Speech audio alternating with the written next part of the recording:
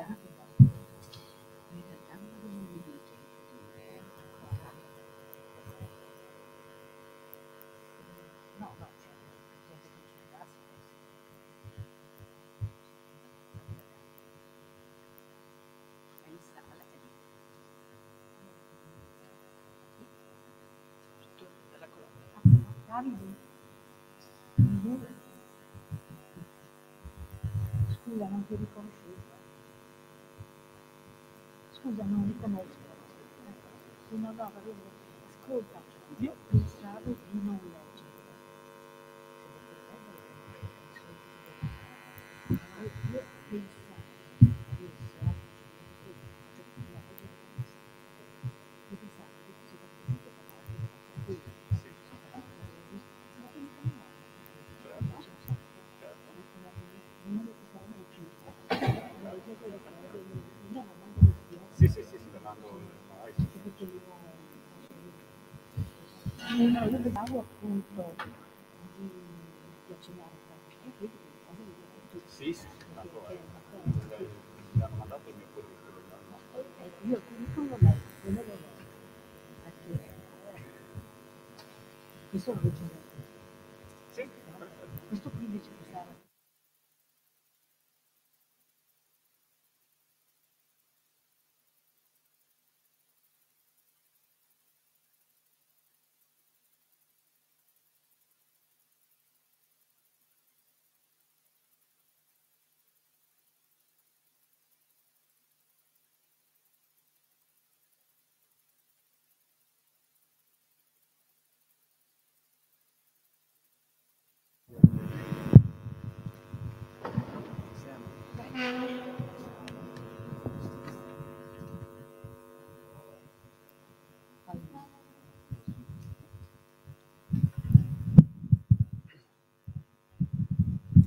Bene, possiamo, possiamo cominciare.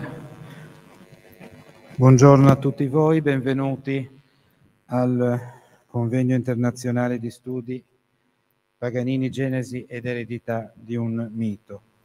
Ringrazio intanto innanzitutto la Biblioteca Berio che ci ospita, ringrazio i relatori che, alcuni in presenza, altri in collegamento online, offriranno il loro contributo a questo incontro. Welcome everybody in Genoa. Thank you for being here. Special thank to Biblioteca Berio, which is hosting us today and tomorrow, and uh, all the speakers uh, and contributors uh, who will either attend or uh, connect uh, in remote. Il convegno nasce nell'ambito del Paganini Genova Festival, ma vuole anche essere il primo importante appuntamento del Centro Paganini per la ricerca e la didattica, istituito lo scorso anno su iniziativa degli amici di Paganini in convenzione con il Comune di Genova. As you know, the, our conference today is part of the Paganini Genova Festival, but it is also the starting point for uh, uh, an important project uh, um, dealing, ma- meaning meant to develop our didactic uh, activity. Il centro, che ho l'onore di dirigere, si è dotato di un autorevole comitato scientifico composto da Maria Teresa Della Borra, Vittorio Marchese, Flavio Menardi, Danilo Prefumo, Anna Sorrento e Italo Vescovo. Obiettivo del centro è sul piano della ricerca favorire studi intorno a Paganini, ma anche lavorare alla digitalizzazione alla conservazione di documenti paganiniani, come alla diffusione della sua musica attraverso edizioni critiche e aggiornate. Centro Paganini is, of course, focusing on Paganini, on Paganini legacy, and uh, we uh, aim in particular at uh, developing research uh, and also at digitalizing the huge amount uh, of uh, documents uh, that are part of our archives.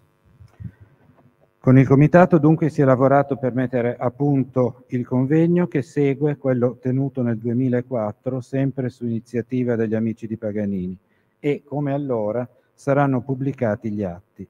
It was time to uh, propose and present in Jena a new international conference, the last held by our association Amici di Paganini was held in, two, um, in 2004, in 2004, and then it was time for a new conference, which is, as I said, a new starting point.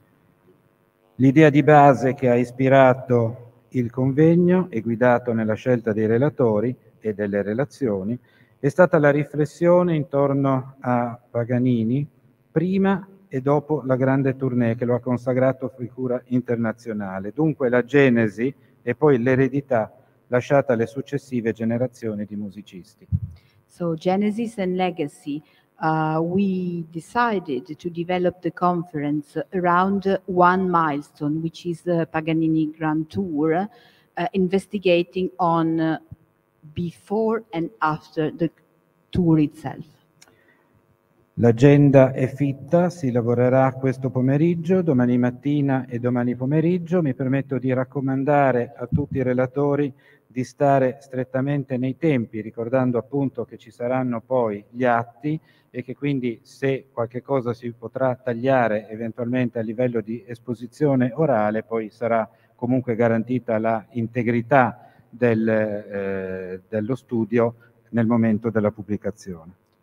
Our agenda is very rich, and because uh, we understand that there's much more to say, and uh, uh, the full papers will be published uh, in the final proceedings of the conference, uh, we will invite uh, all the speakers and contributors uh, today and tomorrow to keep uh, the time under control.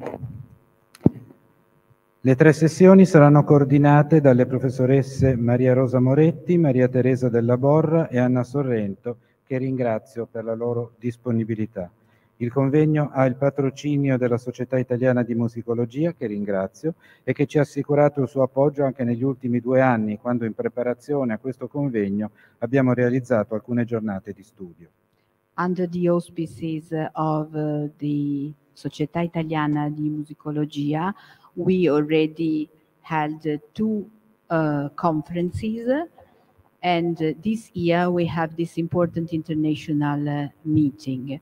Uh, three sessions chaired by Maria Rosa Moretti, Anna Sorrento, Maria Teresa Della Borra, who are, of course, uh, have we- we thank them, of course, for their support. Consentitemi infine una riflessione. Il convegno è dedicato alla memoria di Alberto Cantù, una decisione presa all'unanimità e con affetto dal Comitato. Con la scomparsa di Cantù, la cultura musicale ha perso un protagonista autorevole di questi ultimi decenni.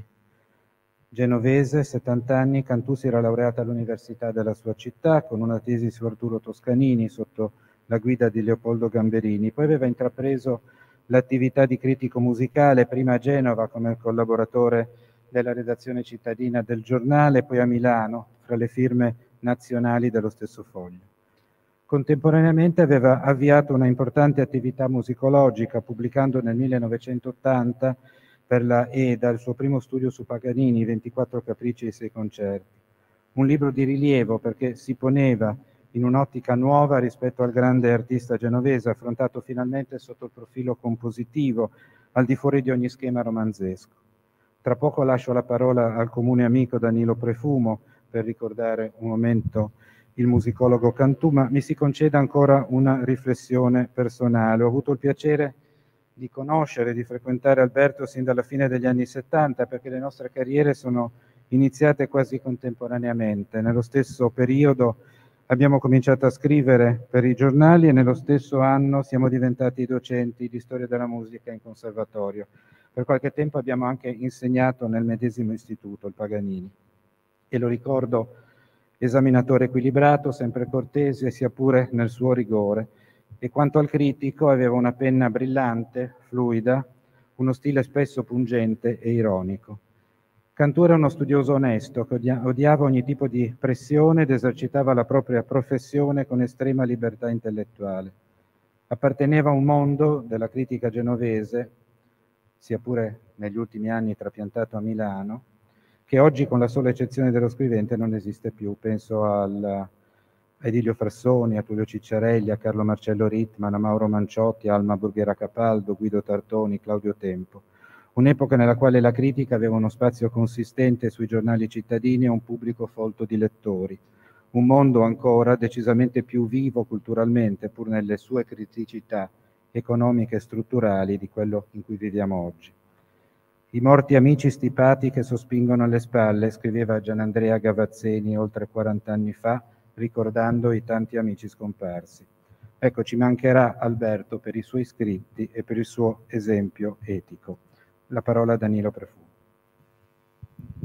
Grazie. Eh, ho il compito di parlare di un caro amico che non c'è più, a cui abbiamo deciso appunto di dedicare il, il convegno di quest'anno, Alberto Cantù. Roberto ha, ha, detto prima, Roberto Iovino ha detto prima commenti spesso pungenti. Alberto era dotato di un carattere e diceva Indro Montanelli che di tutte le persone che hanno un carattere si dice che hanno un cattivo carattere. Eh, Alberto mo- eh, poteva essere anche molto pungente. Aveva studiato violino con Renato De Barbieri e si sarebbe dovuto diplomare. Ebbe un incidente poche settimane prima del diploma che gli provocò l'asportazione di una falange della mano destra il che rendeva impossibile per lui tenere il violino in mano in maniera corretta. Eh, Alberto era senza una falange della mano destra, io sono stato suo amico per anni, me ne sono accorto, me ne sono accorto perché me l'ha detto. Era abilissimo nel dissimulare questa cosa, e, eh, però questo evento tragico ne condizionò in maniera eh, significativa la vita futura.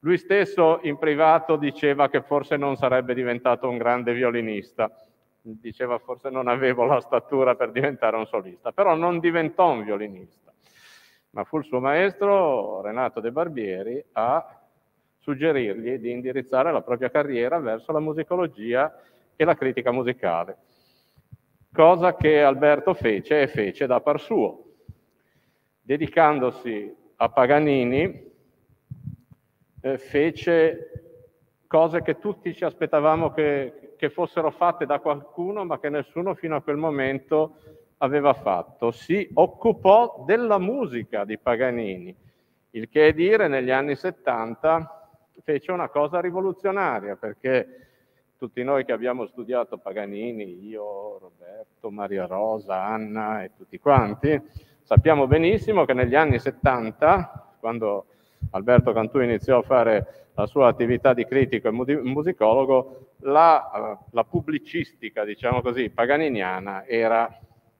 in larghissima parte dedicata a studi biografici, di studi musicali ce n'erano pochi, alcuni anche molto, molto interessanti, ma era soprattutto incentrata sulla figura dell'uomo Paganini.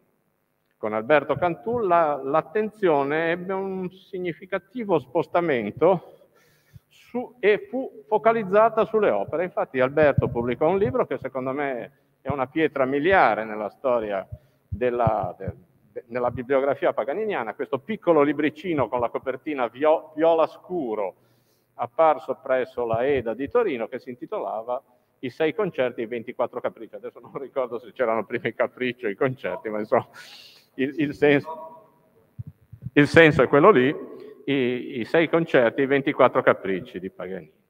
Libro che in uno stile semplicissimo, esemplarmente conciso, illustrava la musica di Paganini e fu l'inizio di una serie di, di nuovi saggi, di nuovi studi che hanno coinvolto poi tutti noi e ci hanno portato a creare, possiamo pure dirlo, una nuova immagine di Niccolò Paganini.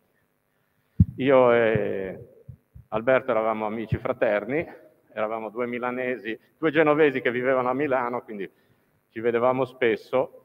Non vi dico le mie, le mie sensazioni personali perché non vi interessano e comunque appartengono solo a me, però abbiamo perso una grande figura della musicologia paganiniana che non sarà facile rimpiazzare. Era veramente un personaggio eh, un po' diverso da, da, da tutti, e aveva un carattere appunto spigoloso, ma anche dotato di uno humor sensazionale e soprattutto era un gran signore. Questo spesso si dice delle persone era un signore, ma Alberto lo era per davvero, aveva eh, nei confronti del danaro quella, quell'atteggiamento di superiorità, di nonchalance che hanno solamente i gran signori che io gli ho invidiato per tutta la vita. È una perdita veramente grave e che non sarà colmata. Grazie.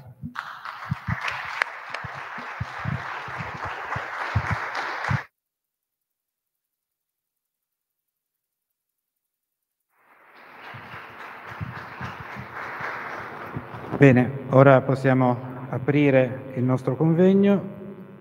Cedo la parola alla professoressa Maria Rosa Moretti che assume la presidenza per questa prima sessione la ringrazio molto grazie. naturalmente per la sua presenza, mi accomodo e vado ad ascoltare.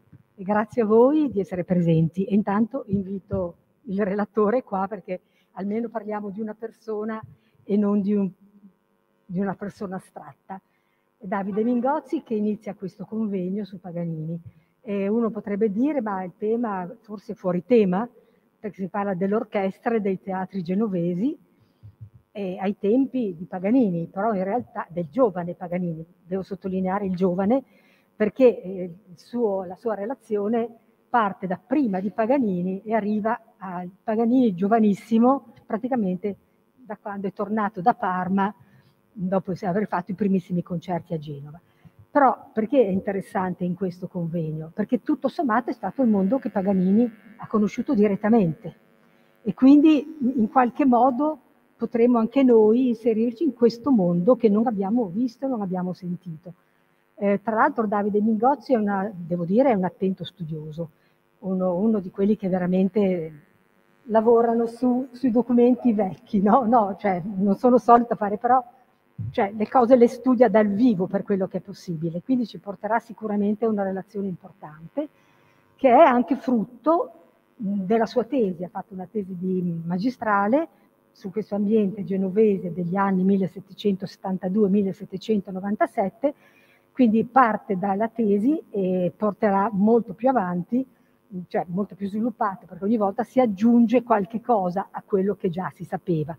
Penso che non, non mi smentirà anche se non conosco suo, questo suo scritto in particolare. Eh, vi leggo brevemente un po' il suo curriculum per capire il personaggio che abbiamo davanti. Davide Mingozzi si è dottorato in arti visive, performative e mediali all'Università di Bologna con una tesi dal titolo Impresari, costume e società a teatro nell'autunno della Serenissima Repubblica di Genova, che è questa tesi di cui parlavo. ed è stato assegna- assegnista di ricerca all'Università di Genova con un progetto sul Colombo di Carlo Andrea Gambini, un altro personaggio che sta studiando a fondo dell'epoca paganiniana e post-paganiniana. I suoi ambiti di ricerca privilegiati vertono sulla storia del melodramma, quanto sappiamo che Paganini ha usato il melodramma no? come fonte anche delle sue composizioni, sulla vita musicale genovese e sulla letteratura pianistica tardo-settecentesca e bidermalia. Ha curato due edizioni critiche con composizioni di Andrea Dolfati, ha recentemente annunciato la scoperta dell'atto di battesimo di Alessandro Stradella con un articolo apparso sulla rivista Il Saggiatore Musicale. Alessandro Stradella è uno di quei personaggi da studiare come Paganini, parentesi mia, no? non c'è nel suo. e, appunto, è stato perso il segno, e il ritrovamento di un abbozzo dei lituani di Amilcar Ponchielli in un intervento di prossima pubblicazione su fonti musicali italiane. È attualmente docente a contratto di storia della musica all'Università Telematica e Campus. Da, da questo curriculum vi rendete conto no, che le scoperte si fanno solo se si cerca, in genere non arrivano a casa per posta. No? Ecco. Quindi io faccio tanti auguri a questo giovane studioso, già così importante, e, e, lascio a lui la parola ovviamente. Sentiamo. Mi raccomando, io sarò severa sui tempi, non ho ben no. capito 30, 40, 25, a un certo punto io tolgo la parola. Benissimo. Okay. ah, ce l'hai. Scusate, un'informazione logistica. Per le slide, com'è che posso mandarle avanti? Con il dito io? Perfetto, grazie mille. Innanzitutto grazie della, della presentazione. Allora, come diceva la professoressa Moretti, è una piccola parte del, della mia tesi di dottorale eh, di cui mi sono occupato della, della musica a Genova tra il 1772 e il 1797 e mh, tratterò questo pomeriggio alcuni episodi eh, in parte già noti su eh, alcuni violinisti, cercherò di riformulare quale poteva essere l'organizzazione dell'orchestra dei teatri a Genova negli anni della gioventù di Paganini e infine presenterò tre documenti che ho trovato su una società di violinisti, su alcuni rapporti che si installavano tra, tra i violinisti e un contratto di apprendistato, non di un violino ma di un contrabbasso, ma ci può dare l'idea di quello che era il rapporto fra maestro e allievo nel, in quegli anni lì, negli anni insomma, del giovane Paganini. E parto con, una, con un biglietto di calice, una denuncia anonima che veniva imboccata a Palazzo Ducale, Serenissimi signori, si avvicina l'aperimento del teatro e già si vogliono disporre le cose in modo da far seguire degli sconcerti, se vostre signorie serenissime non ne prevengono con l'opportuno riparo ai disordini, sempre difficile ad emendarsi dopo che sono accaduti. Al luogo di primo violino, in rimpiazzo del Pelevilla, Itosene in Spagna, è stato dall'impresario destinato Giovanni Battista Serra, detto il Serrino, Sarà questo un abile suonatore, ma deve certo dar la mano a Giacomo Costa, ad Antonio Maria Cervetto e al Ferrari, Stefano De Ferrari, tutti maggiori per anzianità e per uffizio, che deve esercitarsi di ben dirigere un'orchestra, tutti maggiori al serrino. I cantanti si sono già spiegati, unitamente al maestro di cappella, che non potrà andare bene l'opera con essere il primo violino soprannominato. Le voci già sparse in molto ecciteranno i partiti nel parterre, che è sempre di buona regola tener di conto ed allegro e non mai urtarlo. Il maggior numero è quello che sempre si deve avere in vista per non doversi poi ascoltare inconvenienti senza quasi poterne correggere i promotori. Siamo ancora in tempo, dunque approfittiamocene dell'avviso. Così nel dicembre del 1786 un anonimo, con ogni probabilità da ricercarsi fra gli orchestrali, denunciava al Serenissimo Senato il fatto era grave, o perlomeno questa ne era la percezione, e sovvertiva le usanze fino a quel momento adottate. Tra la fine d'ottobre e l'inizio del novembre 1786, Giovanni Battista Pedevilla, primo violino dei teatri, si recò in Spagna al seguito del savonese Luigi Cerro, ingaggiato come maestro al cembalo per la prima, Medonte, prima madrilena del Medonte di Giuseppe Sarti. Durante la stagione rimase così vacante il posto di primo violino per i teatri genovesi che l'impresario subaffittuario del teatro, il bolognese Angelo Bentivoglio, che i suoi detrattori chiamavano Bentimbroglio, affidò la, la, il posto di primo violino a Giovanni Battista Serra, detto il Serrino, già allievo di Filippo Manfredi. La decisione suscitò il risentimento dei colleghi più anziani. L'impegno era per giunta prestigioso. L'opera in programma, La Virginia di Gaetano Andreozzi, era una prima assoluta. Nella seduta del Serenissimo Senato del 6 dicembre fu proposto di prendere qualche provvedimento. La votazione però fu negativa. In ogni caso, rientrato Pedevilla dalla Spagna, i malumori dovettero affievolirsi. L'anno successivo, tuttavia, l'eco del malcontento si fece nuovamente sentire, sebbene in questo caso ne siano ignote le cause. Signori Serenissimi, si presenta per la città che vadano a eseguire dei forti sussurri per la scelta dei professori dell'orchestra nel teatro di Sant'Agostino all'occasione dell'opera di questo prossimo carnovale. Sembrano che vostre signorie serenissime, che vegliano alla pubblica tranquillità, si degnano di prevedere a riparare a disordini che senza dubbio succederanno per i due partiti che fomenteranno il disturbo con quelle commissioni che stimeranno nelle eccellentissime residenti di palazzo, acciò che, sentiti i signori impresari del teatro ed il soggetto delle questioni, cioè il Serrino, diano le provvidenze opportune. Anche in questo caso la pratica non ebbe un seguito. Alla morte di Pedevilla nel 1793, che cadde rovinosamente dalla cantoria di, di Santa Sabina, Serra ne raccolse l'eredità. Il caso si riaprì quando lo stesso anno i padri del comune nominarono Serra primo violino per la processione del Corpus Domini. I documenti di cui parlo ora sono studiati da almeno 50 anni, eh, comunque è utile ripercorrerli. Si trovavano nelle filze dei padri del comune, poi sono spariti e poi ricomparvero. E qui mi taccio perché eh, eh, dire, la storia di questi documenti è come la morte da una prassede. Quando si dice che si sono ricomparsi si è detto tutto e sappiamo tutti come, dove, come, perché. Nel febbraio del 95 Giacomo Costa, con una supplica al magistrato dei pali del comune, si fece portavoce del malumore dei professori di violino che nei due anni precedenti avevano dovuto sottostare a Serra e cedere a lui il primo posto nella processione. Nel documento Costa chiarisce le usanze non scritte ma di antica consuetudine che intercorrevano fra i violinisti. Il corpo dei professori di violino non ha capitoli o regolamenti propri, se non quell'unico fondato sopra un'antica consuetudine, ed è che la processione del Corpus Domini serve a conferire l'anzianità, di modo che il professore che prima ha cominciato ad intervenire annualmente a detta processione ottenne l'anzianità sopra quelli che più tardi hanno cominciato ad intervenirvi. Fu stabilita una tal consuetudine appunto per ovviare alle gare e litigi che se si, dovesse, se si avesse voluto calcolare la maggiore o minore abilità doveva naturalmente nascere fra i, fra i professori. Una tal consuetudine non fu interrotta che in grazia del defunto Pedevilla, a cui cedettero graziosamente i professori anziani di quei tempi. Più oltre il Costa lamentava l'eccezionalità dell'evento, i professori più anziani non avevano di loro volontà ceduto il posto a Serra, né mai il governo era intervenuto assegnando con un decreto il posto di primo violino. Inoltre il fatto che Serra fosse il primo violino del teatro non doveva essere addotto come pretesto per assegnare il medesimo incarico durante la processione, poiché la scelta del primo violino dell'opera dipende dall'arbitrio di un privato, qual è l'impresario, il quale per tale oggetto può far venire un professore forestiere, come seguì per il passato riguardo al Manfredi senza perciò si turbasse l'ordine stabilito dell'anzianità della processione. Si auspicava infine che nella prossima processione del Corpus Domini verrà ordinato che si debba nell'ordine della precedenza osservare l'anzianità, poiché una previdenza così giusta e conveniente andrà incontro ai disordini occorsi nell'anno scorso per occasione dell'ordinata innovazione e riparerà al pregiudizio e toglierà i dissapori che ne sono nati. La supplica fu letta ai padri del comune il 26 febbraio e rimessa agli illustrissimi deputati delle processioni perché stabilissero che provvedimenti prendere. Da parte sua anche Serra si rivolse allo stesso magistrato per opporsi alle richieste dei colleghi mossi, a suo dire, solo da spirito di contraddizione.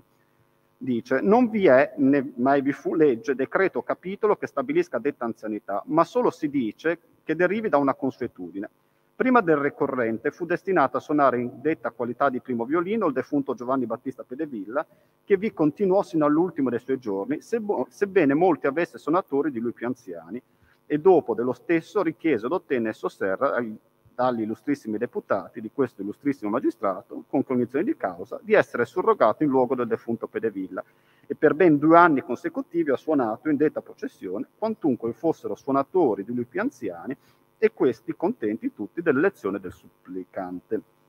Serra inoltre ricordava gli incarichi da lui svolti non solo a teatro, ma anche durante le funzioni nelle chiese cittadine e durante le, le incoronazioni dogali, occasioni per le quali ha sempre occupato il posto di primo violino.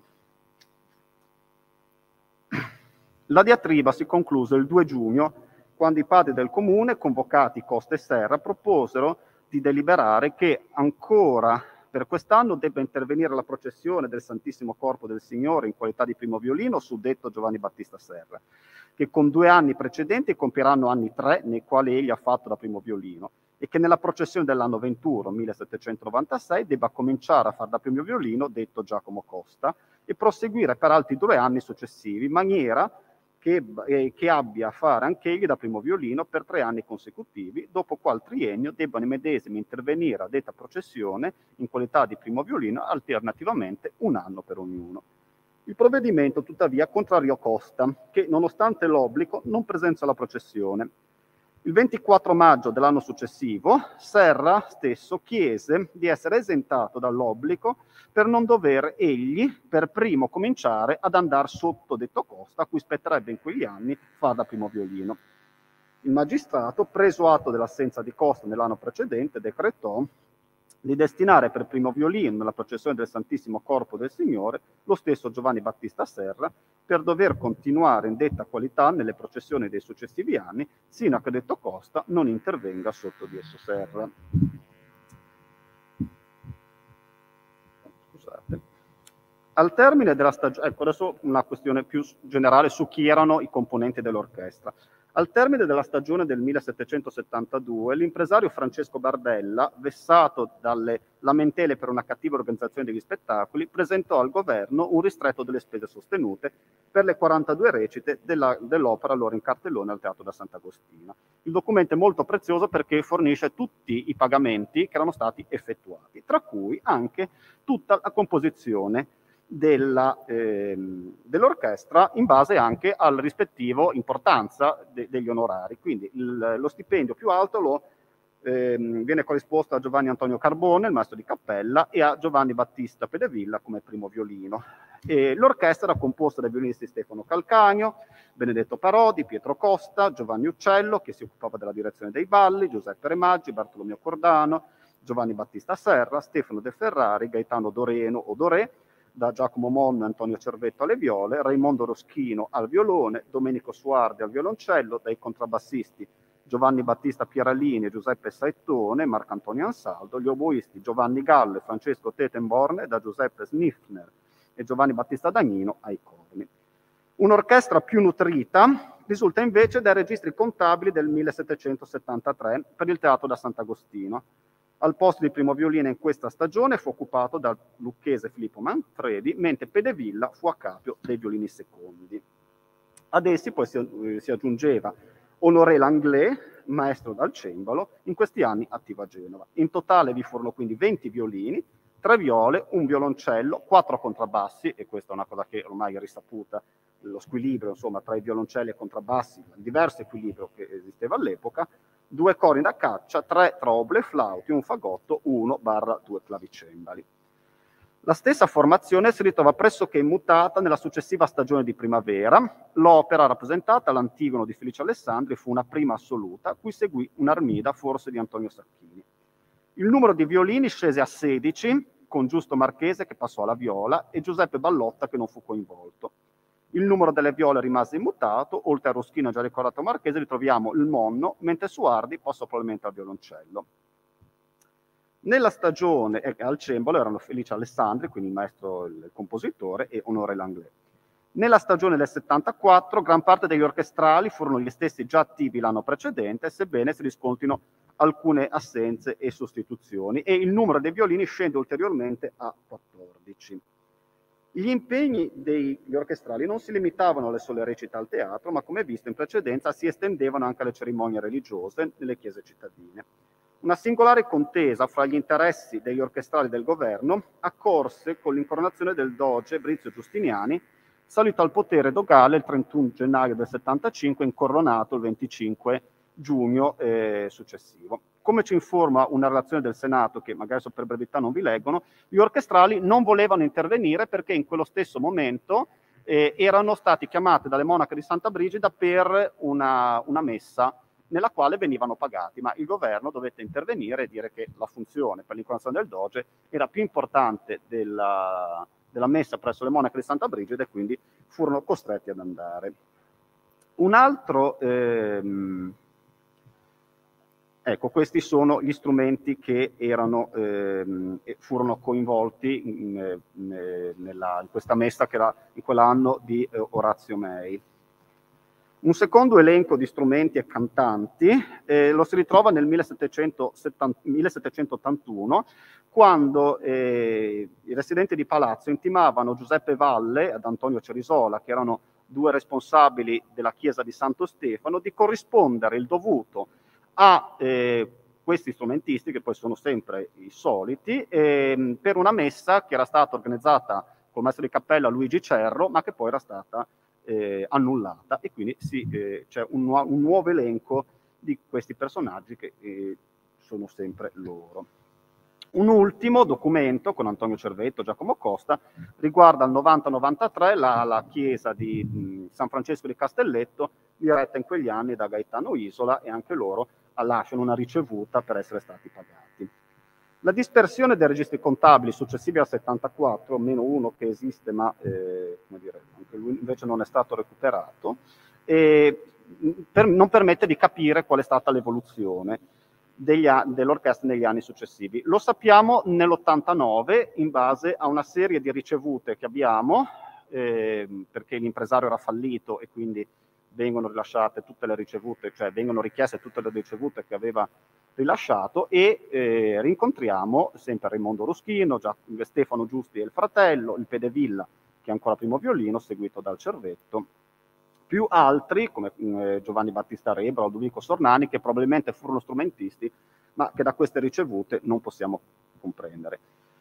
Evidente quindi quello che appare, molti sono i casi di polistrumentisti, sia tra violino e viola, il Giusti, il Cervetto, Marchesi, Uccello, Monno, sia tra violino, viola e violoncello, il caso di Suardi, o violino, viola e violone, il caso di Raimondo Ruschino. L'assenza di un- regolamento che stabilisse quali erano le norme per le assunzioni del teatro nelle chiese, nonché i termini in cui dovevano essere effettuati i pagamenti, fu materia in cui gli strumentisti stessi ebbero a discutere. Il 17 agosto 1778 i violinisti Raimondo Ruschino, Giuseppe Settone Giovanni Battista Pedevilla dichiararono di essere frequentemente pregati di portarsi in qua e in là a fare prove di musica, cioè di messe, cantate, vespri ed altre cantate in musica, senza che da tali loro incomodi vengano a risentire benché minimo vantaggio, anziché il pregiudizio, perché tralascia- tralasciano molte volte da andare ove riscuoterebbero il pagamento. E per ovviare a tale incomodo stabilirono che da oggi in avvenire alcuno professore di musica, in caso venisse pregato di portarsi in qualche, lo- in qualche luogo a fare prove di musica, escluse le prove dei teatri ed altro pubblico servigio, non vi si debbano portare né in alcun modo intervenire senza un congruo pagamento. Qualora i musicisti fossero eh, contravvenuti alla decisione, sarebbero incorsi in un'ammenda di uno zecchino che doveva essere devolta alla confraternita di San Francesco di Paola o per la celebrazione di messe in suffragio delle anime di- del purgatorio. Basata come era su decisioni prese in autonomia dall'impresario, il reclutamento per il teatro poteva a volte creare eh, dei problemi e tale fu nel 1781 la doppia assunzione che incorse di eh, Luigi Cerro come maestro al cembalo e di Gaetano Isola, ehm, che probabilmente per questo motivo si trovarono entrambi assunti eh, dall'impresario che aveva fatto un po' di confusione, stesero un, eh, un contratto fra loro due per stabilire ehm, l'alternanza della- del ruolo di maestro di cappella a Genova in, in quegli anni. Accadde anche che gli orchestrali, richiesti dal governo per una funzione pubblica, deplorassero poi in un- in un- una ingiustificata riduzione del compenso, stabilita unilateralmente nelle stanze del Palazzo Ducale. E quanto accadde nel 1785 in occasione della visita nella Superba del re delle due Sicilie, Ferdinando IV di Borbone, e della regina Carolina d'Austria. Il governo predispose una sontuosa accoglienza. Nel novembre successivo, i professori di musica strumentale di questa città inoltrarono ai Serenissimi Collegi una supplica al Senato nella quale si, pre- si precisava che, comandati dalla magnifica deputazione a servire nelle feste state date a Sua Maestà Re di Napoli, cede- ehm, cedettero, atto, atto di loro dovuto rispetto di non patteggiare preventivamente sulla loro mercede, quindi non sapevano quanto avrebbero preso. Hanno dunque detti professori, servita la magnifica deputazione nelle due, nelle due feste da ballo che si tennero una in Strada Nuova e l'altra all'Acqua Verde, sono stati essi soddisfatti della prima, ma quanto alla seconda vedono con loro somma affli- affli- afflizione invalsa dalla magnifica reputazione l'idea di diminuire la mercede, quanto peraltro essa è stata per loro di maggior fatica ed incomodo e che il, luogo, il lungo ritardo che hanno già sofferto non lascia di essere sensibilmente gravoso per chi vive di giorno in giorno. Si, richiedeva infine di corrispondere quanto dovuto senza decurtazioni, trattandosi in particolar modo, dicono gli orchestrali di se stessi, di povere persone che esercitando una professione bensì civile ma pochissimo e, e di precario lucro eh, durano a fatica a sostenere se stesse e le loro famiglie con tenuissimo emolumento che ne, ricav- ne ricavano. Le precarie condizioni economiche appunto degli orchestrali eh, furono probabilmente alla base di una società che il 10 marzo 1776 eh, venne eh, dire, fondata tra Giovanni Battista Pedevilla Domenico Suardi, Giovanni, Giuseppe Settone e Raimondo Brugia Castello, detto Raimondo Ruschino, diretta a formare un capitale a vantaggio di ciascheduno d'essi. E si stabilì in prima istanza che ognuno di detti soci promette di sborsare a mano del cassiere in ciascheduna delle funzioni che si fanno da detti signori soci, tanto a pagamento come senza, accademia in città e in campagna, feste da ballo in teatro fuori, in città e fuori città, tutte le recite di opere e commedie in guisa tale niuna funzione debba essere esclusa, soldi 4, moneta fuori banco. Raimondo Ruschino fu eletto cassiere, mentre Giuseppe Saitone fu affidato l'incarico di riscossione e di tener, di tener nota del ricavato. La durata della società fu fissata a 10 anni a partire dal 1 gennaio del 76. Inoltre, Nessuno di detti signori soci durante il tempo della detta società potrà pretendere non tanto la sua porzione di capitale, ma me- nemmeno dei frutti che fossero risultati da quel capitale che si andrà formando se non alla fine di anni 10, alla riserva di quello o quelli che si ammalassero o si ritrovassero in qualche bisogno, che Dio non voglia, al quale dovrà corrispondersi la quarta parte ad esso spettante, non tanto di capitale che di frutti, e lo stesso si intenderà immediatamente escluso da detta società. Scopo della società anche l'assistenza in caso di malattia e di decesso. Qualora uno dei soci fosse morto, la sua parte di capitale e interesse sarebbe stata corrisposta agli eredi. Al termine dei dieci anni si sarebbe provveduto a, ehm, a dividere ugualmente il capitale fra i soci e, se ritenuto vantaggioso, a prorogare il contratto, ma non risulta che questo contratto sia stato eh, rinnovato. L'ultimo documento di cui vorrei parlarvi è questo, Maestri e allievi.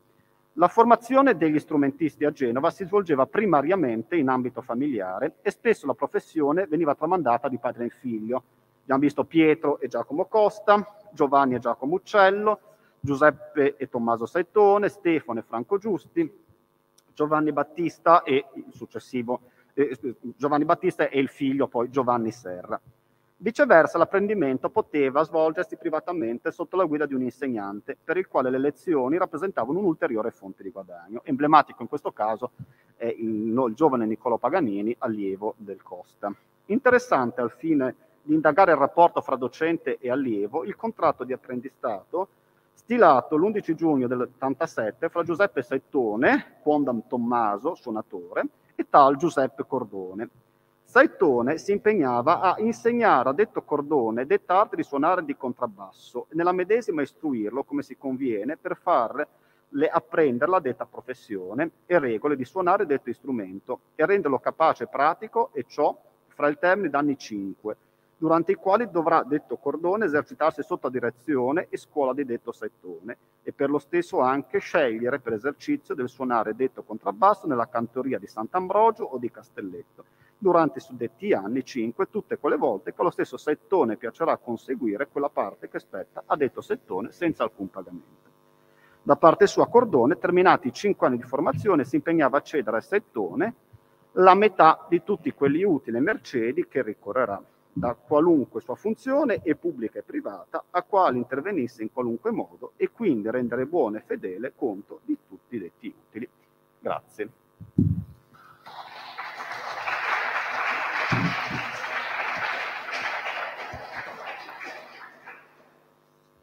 Grazie.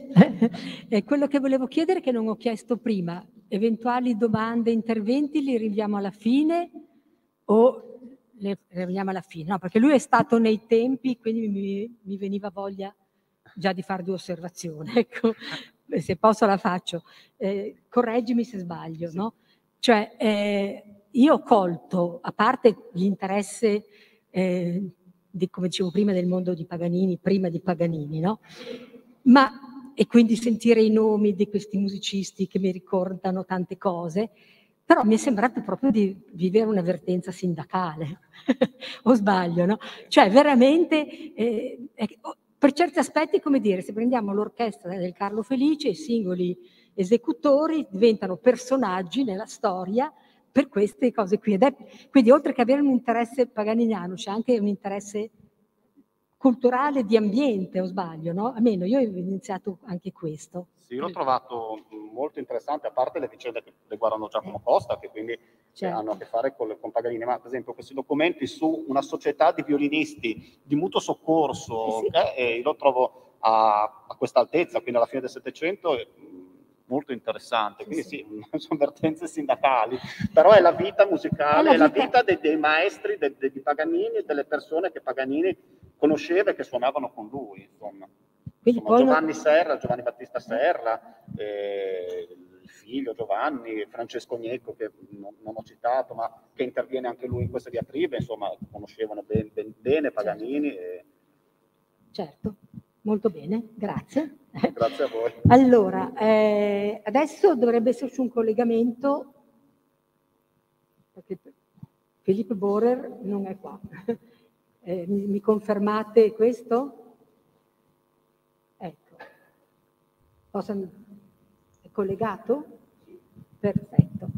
Allora grazie intanto a Filippo Borer, che spero che vediate voi perché io non lo vedo eh, che è uno studioso paganiniano da tanto tempo, è nato in Svizzera, nella Svizzera francese, ha fatto parte anche un po' di collaborazione con eh, Edward Nile, con la professoressa Capaldo, che tutti voi ormai conoscete alla grande. Ecco, grazie, così lo vedo meglio. Sì, grazie. E, mh, si è occupato veramente di Paganini da tanti punti di vista. E, mh, direi che quello che ci racconta oggi è ancora un po' sulla linea di quello che abbiamo sentito prima.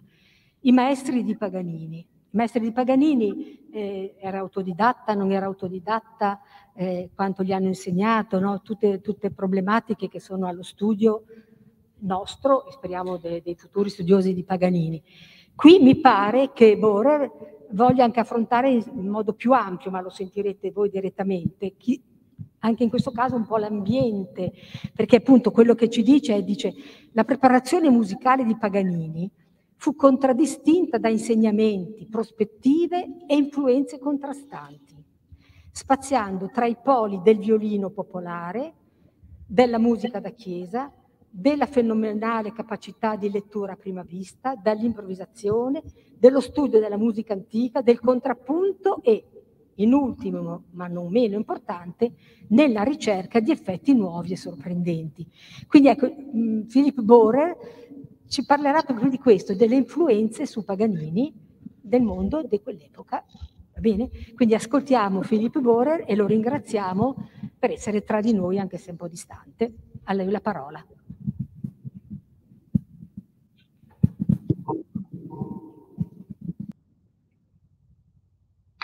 Buongiorno, grazie.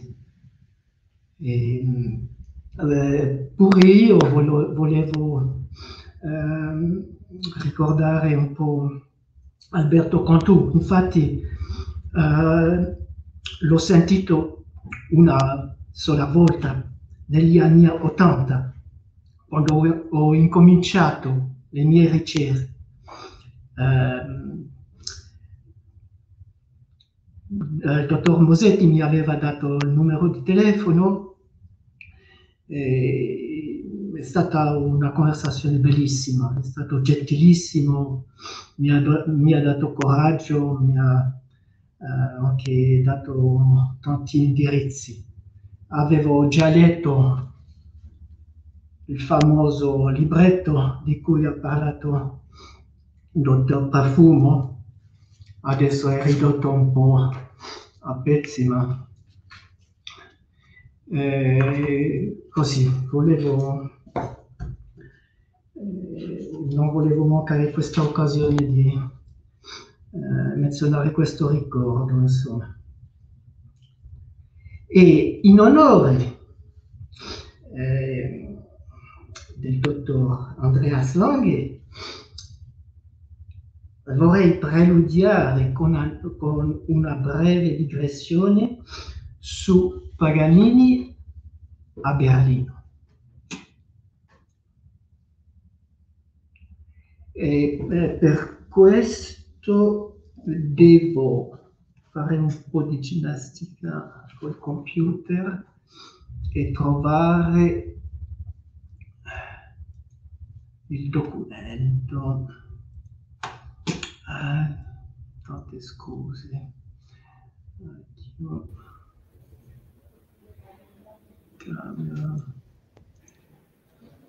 Non so se c'è un problema di... Eh, sì, perché devo trovare la... Ah, e- ecco. Eh, ecco, non ce l'ho. Potrebbe essere tutto il plagio. Professor Borer, deve accendere la telecamera. Grazie. Prego. È così? Meglio? Devo... Sì. E... Va bene, può, può iniziare. Ok. Allora, un attimo perché eh, window e penso di aver trovato share. Ok, si vede la- il documento sullo schermo?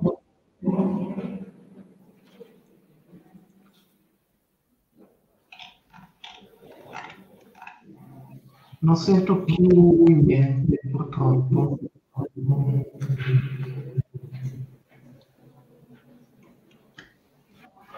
Allora.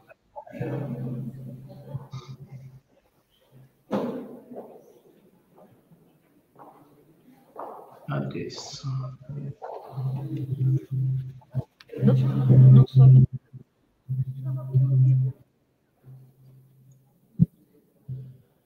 Vediamo il documento, grazie. Si vede? Sì, sì, si vede, grazie. Allora.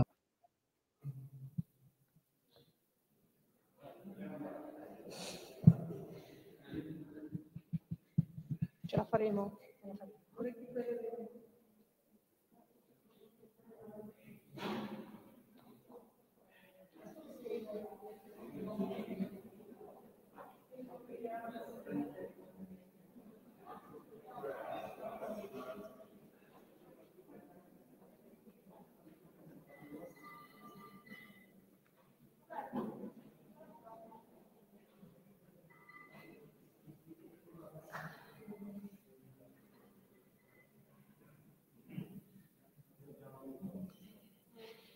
Secondo me se facesse un sunto,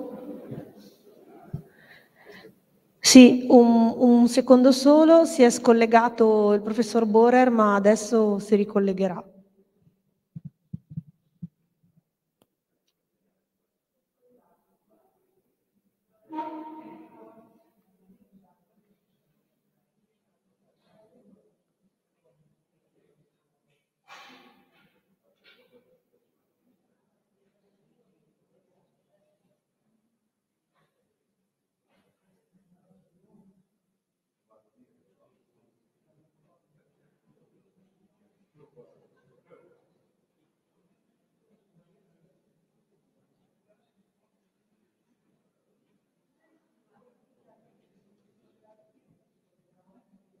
vieni mi aiuta,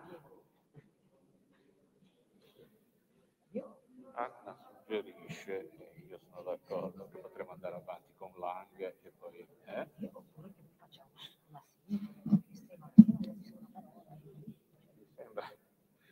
Andiamo avanti con l'anche. Si è scollegato lui. Ha provato tutta la mattina e ha fatto, adesso si è Dico scollegato. che per motivi tecnici, Dai. dico che per motivi Sì, puoi sì. dirlo tu. Sì, sì, no, no, dillo tranquillamente che si è scollegato. Sì. Eh, scusate, visto che eh, il professor Borer si è scollegato, è successo qualcosa che va al di là delle mie capacità compre- di comprensione, eh, proporrei di intanto andare avanti, così eh, ci portiamo un po' più eh, avanti e quindi chiamerei Andreas Lange a venire. Non sei tu adesso? Io ho capito che c'è Andreas Lange dopo. Eh? C- Ecco, sì, appunto, se vieni qua.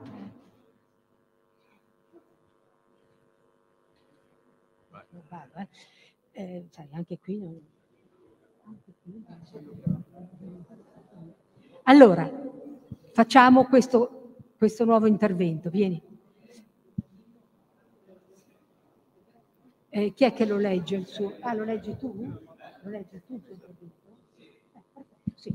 Allora, io tanto presento. Eh, Andreas Lang viene da Berlino. Italian?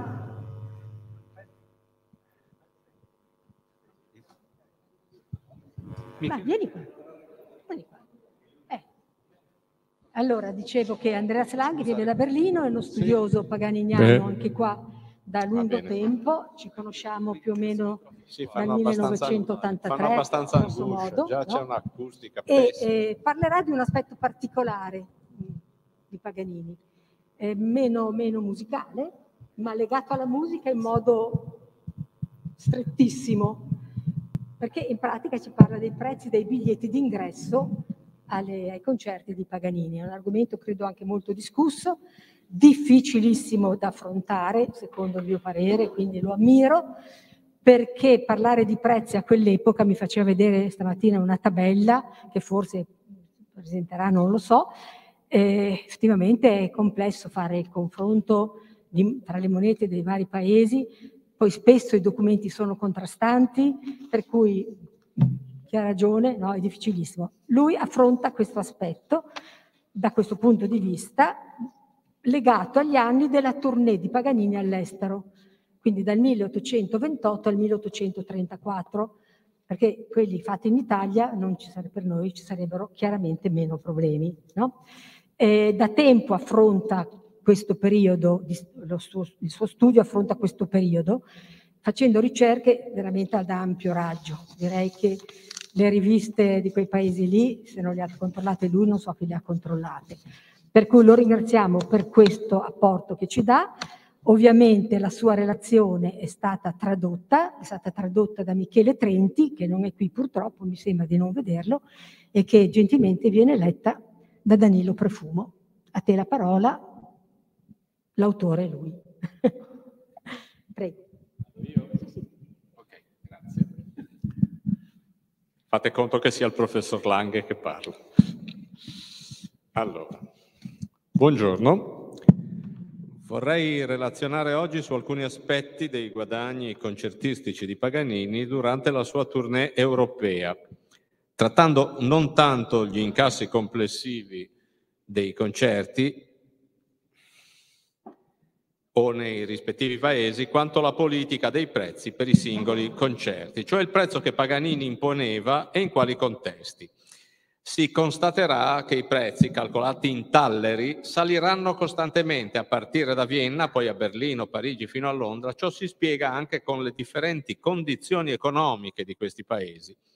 Inglesi potevano comodamente permettersi biglietti a costi più cari. Questo elemento, insieme al numero di concerti eseguiti in Gran Bretagna, circa l'83% del totale rispetto al 17% ottenuto in Francia e Belgio, porta ai favolosi incassi di Paganini in questi anni. Indagherò però per cominciare le seguenti questioni ed aspetti. 1. Le valute nei paesi toccati da Paganini. 2. Teatri d'opera, sale da concerto e altri sale ed il loro riflesso sui costi. 3. Sconti e riduzioni. 4. Paganini e il sistema valutario britannico. 5. I costi dei biglietti da Vienna 1828 a Londra 1834. Vorrei fare una premessa. Solo negli ultimi giorni sono venuto a conoscenza, tramite Maria Rosa Moretti, dell'articolo Niccolò Paganini, divo e manager, di Roberto Iovino e Nicola Olivieri. Si potrebbe supporre che, questo articolo, che questo articolo e la mia conferenza abbiano contenuti simili, ma non è così. Sia nell'articolo di Iovino e Olivieri che sui dati cui ha lavorato Zdenek Viborni, a me trasmessi molti anni fa da Roberto Grisley, si evincono interessanti informazioni sui redditi di Paganini. Non è questo il mio obiettivo, mio intento era invece quello di analizzare i prezzi dei biglietti come origine dei cospicui guadagni di Paganini. Spero che la mia relazione lo renda chiaro. In una eventuale pubblicazione degli atti, un elenco dettagliato delle fonti evidenzierà questi aspetti e i miei debiti verso altri contributi. I guadagni di Paganini durante la sua tournée, giornalieri o riferiti ai luoghi in cui suonava, erano più o meno noti. Numerosi giornali, soprattutto in Gran Bretagna e in Germania, ne rendevano sovente conto. Gli importi complessivi furono riportati dai segretari di Paganini o da lui stesso. Viborni ha stilato una interessante lista degli incassi in un suo interessante articolo sulla rivista tedesca Musikforschung del 1965, tradotto nel primo numero dei quaderni dell'Istituto di Studi Paganiniani. Anche se sono incerto rispetto ad alcuni calcoli nel cambio delle valute, ne risulta un quadro complessivo corretto. Errori possono risultare dai seguenti fatti. Se in Austria e Boemia, in Polonia, Francia, Belgio e Gran Bretagna la valuta era unica, completamente diverso era in Germania nel primo terzo del XIX secolo. Esistevano allora 39 stati tedeschi autonomi con rispettive valute e monete e molti stati usavano lo stesso nome della moneta come tallero o fiorino, ma vi era ad esempio il tallero prussiano, il tallero sassone e il tallero del Mecklenburgo. Per commercianti ed acquirenti attivi in Germania il calcolo preciso dei cambi costituiva un problema complicato, quindi a molti non rimaneva che calcolare il valore della moneta secondo il peso del metallo, e ciò in modo indipendente dal fatto che si trattasse di fiorini, talleri, marchi o altre monete. Non sempre questo però era un criterio preciso, perché un doppio tallero non posava il doppio di un tallero. Come funzionasse con i soldi di carta che in alcuni paesi erano già in uso non mi è dato dedurre dalla documentazione in mio possesso. E mi pare improbabile che Paganini o i suoi segretari per i concerti di Germania 1829-1831 pesassero le monete d'oro, argento e bronzo.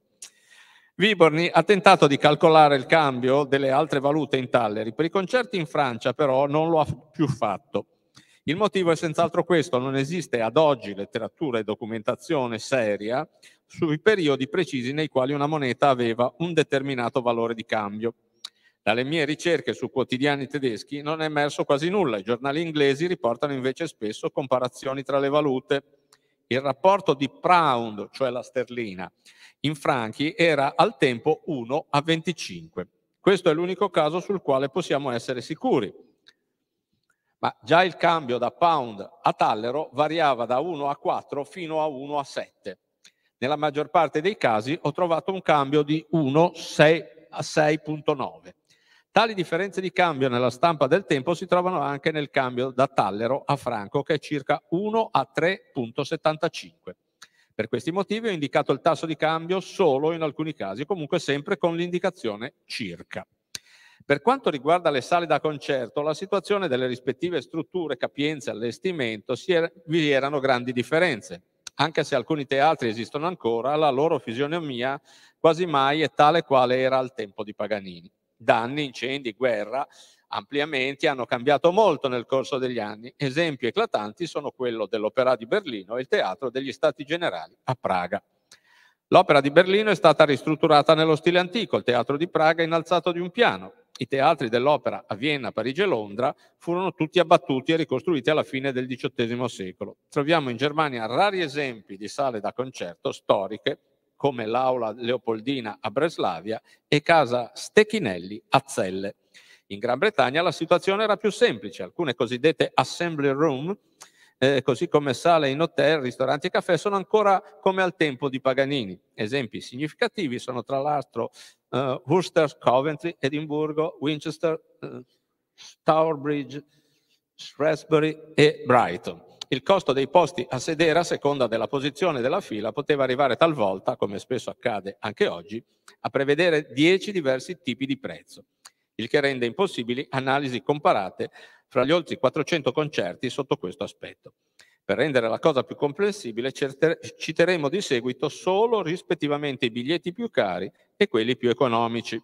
In alcune istituzioni culturali britanniche non esistevano invece differenze di prezzo, per cui troviamo ad esempio 7 each, cioè 7 scellini per ogni posto. Paganini e i suoi segretari hanno sovente sottovalutato la situazione economica dei paesi in cui si trovavano. Quando Paganini constatava che le entrate calavano, oppure quando si verificavano proteste sulla stampa, in molti casi abbassava i prezzi. Questo accade specialmente nei primi tre anni. Mentre i biglietti di ingresso fino ad allora riportavano che le consuete riduzioni erano sospese e gli spettatori dovevano sborsare cifre doppie o anche più, in Gran Bretagna non troviamo più questo modo di operare. Dopo la prima arrabbiatura in occasione del primo concerto programmato a Londra il 24 maggio 1831, Paganini si regolò di lì in poi sui prezzi abituali dei concerti. In Gran Bretagna fino al 1971 non vigeva il sistema decimale, ma l'antico sistema monetario carolingio. Le monete erano una sterlina uguale 20 scellini uguale 240 pence, abbreviati in L, S e D. Paganini mm, stesso annotò nei diari gli incassi in questo modo, un modo di agire che oggi al di fuori della Gran Bretagna appare difficile e poco comprensibile. Per questo anche io non mi sono azzardato, ma mi sono mantenuto essenzialmente ad indicazioni in pound e scellini. Una ulteriore particolarità del sistema monetario britannico riguarda le Guinee. La Guinea aveva il valore di un pound più uno scellino, cioè in tutto 21 scellini. Permettetemi ora di riportare alcune informazioni sui prezzi dei biglietti nelle maggiori città della Tourté di Paganini. Vi troviamo indicazioni in gulden, fiorini, talleri, marchi e pound. Iniziamo dal 1828 a Vienna, prima tappa della tournée europea. I primi cinque concerti si tennero nella Redutensaal, quelli successivi nel Hofburg Theater, nel teatro della Kärntnertor, quindi ancora due, tra cui il concerto di addio nella Redutensaal. I prezzi di ingresso nella Redutensaal ammontavano a 2 gulden, in galleria 4 gulden, cioè circa 2,3 talleri. Negli altri due teatri i pezzi più cari nel parterre erano ugualmente di 2 gulden. I prezzi di un palco intero erano tra i 10 e i 12 gulden. Il problema è che a Vienna il numero dei posti di un palco non è mai indicato. Confrontando la grandezza odierna dei palchi si può presumere che i posti fossero 4. Allora. Presso la Banca Nazionale Austriaca troviamo oggi un calcolatore di cambio che per il 1828 indica il valore di 2 gulden in 45 euro circa. I biglietti più cari in quarta o quinta fila al Hofburger Theater e al teatro della Kärntnertor erano a 30 corone, che corrisponderebbe in teoria a circa 11 euro di oggi. Se si confrontano questi prezzi con quelli di altri concerti nella Redutensaal, per esempio quello del violinista Josef Slavik, i prezzi sono anche qui di 2 e 4 gulden. Come per Paganini, questo importo era dunque qui assolutamente normale. Possiamo disporre anche di informazioni sui biglietti di ingresso a Praga. Si constatano le seguenti cose. In quel periodo sulla stampa locale circolarono articoli ironici contro Paganini. In reazione irritata Paganini vuole alzare i prezzi. Un posto in platea costava qui già 4 gulden ed il posto più economico un gulden un palco intero per quattro persone nella prima e seconda eh, pa- serie costava 20 gulden, ovvero 5 euro a persona, un gulden più che a Vienna. Tale rilevante rialzo dei prezzi rispetto all'usuale portò a Praga a violente proteste sulla stampa e Paganini ridusse i prezzi a partire dal terzo concerto. Per i successivi quattro concerti da 5 gulden il posto nei palchi passò a 3 gulden e dai 4 gulden si passò a 3 in platea. Germania. Evidentemente Paganini in questa fase non è ancora consapevole della situazione economica delle persone in Germania. Infatti, nella tappa successiva del suo viaggio, Dresda, alza i prezzi fino al triplo del consueto. I biglietti più cari nei palchi costano 3 talleri, nella platea 2 talleri. Già nel secondo concerto è costretto a ridurre a 2 talleri i posti nei palchi ad ad un tallero la platea. Nei concerti successivi i prezzi più cari si mantengono a 2 talleri, a Berlino si giunge ad un ulteriore cambiamento, mentre i responsabili del teatro di posa rimasero fermi sull'imporre due talleri, dal sesto concerto Paganini poté ottenere il teatro dell'opera, qui il prezzo più caro era un tallero e 10 groschen. Polonia. La stampa a Varsavia stranamente non ci informa sui prezzi dei biglietti, ma il giornale di Norimberga riporta, grazie al suo corrispondente, che per il primo concerto a Varsavia il 23 maggio 1829 un posto in palco costa 18 gulden polacchi, ovvero 3 talleri prussiani. Sappiamo da un programma di sala conservato che nel sesto concerto non erano ancora avvenute riduzioni. Germania. Paganini arriva a Francoforte sul Meno nell'agosto del 1829 per il suo primo concerto i biglietti più cari costano due talleri. Paganini riduce i prezzi a partire dal quinto concerto solo per la galleria da un fiorino e 21 kreutzer a 48 kreutzer. Successivamente in tutti gli stati in Germania meridionale dove la valuta era il fiorino, Paganini chiese gli stessi prezzi di Francoforte. Nel tratto successivo della tournée, attraverso Sassonia e Turingia, i prezzi dei posti più cari furono due talleri. Nel Magdeburgo addirittura tre talleri con conseguenti proteste. Anche a Dessau due talleri, mentre a Weimar e a Rudolstadt scese ad un tallero e otto groschen. In occasione di un concerto di beneficenza per i poveri a Francoforte, nel febbraio 1830, al Museo della città, Paganini ridusse il prezzo ad un fiorino 43 kreutzer per tutti gli ordini di posti. Durante la parte di viaggio da maggio a giugno 1830 abbiamo a che fare quasi sempre con talleri e da Bonn a Hannover e Braunschweig i prezzi furono di due talleri a biglietto, solo a Coblenza furono inferiori. Ad Amburgo si pagava in marchi, la stampa riporta che i prezzi dei biglietti furono raddoppiati. Il biglietto più caro costava 4 marchi e 8 scellini, poco più di un taller. Francia. La prima tappa di Paganini in Francia fu Strasburgo. Sulla stampa si osserva che i prezzi furono raddoppiati. A Parigi Paganini diede 10 concerti, tutti agli stessi prezzi. I posti più cari costavano 20 franchi, quelli più economici 5 franchi nel loggione. 20 franchi corrispondono a circa 5 talleri. Interessante è la seguente politica dei prezzi in Francia, come ho rilevato per Lille e Calais. I biglietti vengono offerti a chi li acquista nei giorni precedenti, rispettivamente a 10 e 6 franchi, ma perché li compra il giorno del concerto salgono a 15, ovvero 8 franchi. Si voleva così indurre gli appassionati a decidere di acquistare i biglietti in fretta per risparmiare, a decidere di, però c'è scritto decidere, a decidere di acquistare i biglietti in fretta per risparmiare. Gran Bretagna. Già mentre era ancora in Francia, Paganini trattò con il direttore del King's Theatre di Londra, Pierre-François Laporte, relativamente ai prezzi dei biglietti per i concerti a venire. Già nel maggio 1831 si trovano sulla stampa britannica i prezzi dei biglietti per i singoli concerti. Questi vanno da mezza guinea per la galleria fino alle due guinee per i posti in palco. Al cambio significa quasi 14 talleri. Prezzi particolari in palco andavano da 4 a 10 guinee. Per paragonare questi prezzi ai maggiori prezzi di altri concerti o recite d'opera, vediamo che questi ultimi si tengono al massimo tra mezzo pound e un pound. Solo i prezzi per palchi privati erano al di sopra di tali cifre.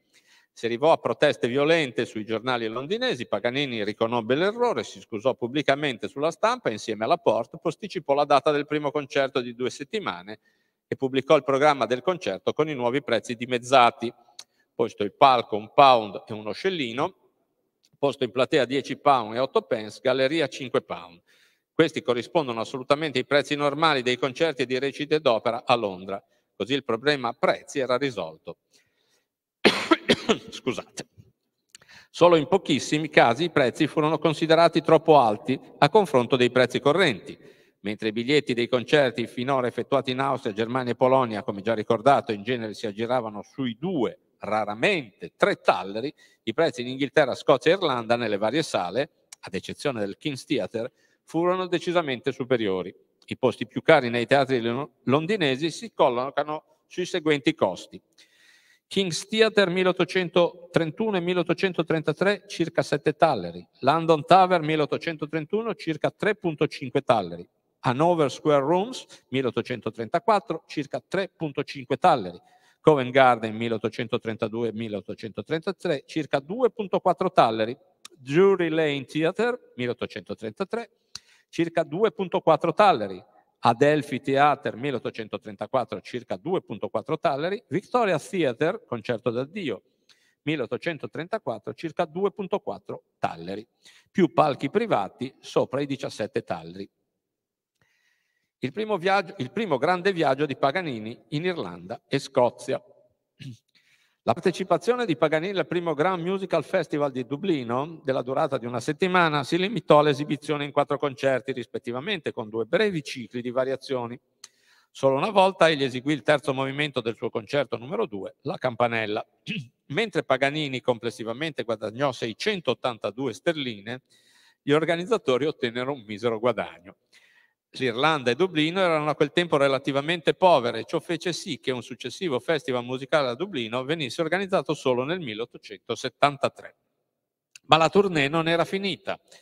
Ancora sei concerti lo aspettavano a Dublino e 12 in altre località del paese con biglietti a 7 pound e 6 pence. Questi costi, 7 scellini e 6 pence, li ritroviamo nelle maggior parte dei successivi concerti. E lo stesso prezzo abbiamo ancora nei concerti successivi in Scozia, indipendentemente dal fatto che fossero concerti con accompagnamento di orchestra o senza. Mentre Paganini a Dublino, Edimburgo o Ayr per lo più ebbe a disposizione un'orchestra, gli altri concerti, tra cui Kilkenny, Cork, Limerick, Belfast e in Scozia Glasgow, Perth, Dundee e Aberdeen, furono eseguiti come serate da camera, accompagnate al pianoforte da Pio Cianchettini, con numerose improvvisazioni alla signora Pietralia che si esibiva in arie cantate. Dopo il ritorno a Londra venne programmata una serie di concerti per la seconda metà del dicembre 1831 a Brighton, Bath, Bristol ed Exeter, con accompagnamento d'orchestra. Ad eccezione di Brighton, erano concerti che si replicavano sempre in tre città. Lo stesso avvenne per i programmi presentati a Bath, Bristol ed Exeter. I biglietti erano qui in vendita al prezzo di 10 scellini, superiore al normale. 1832 Inghilterra e Francia.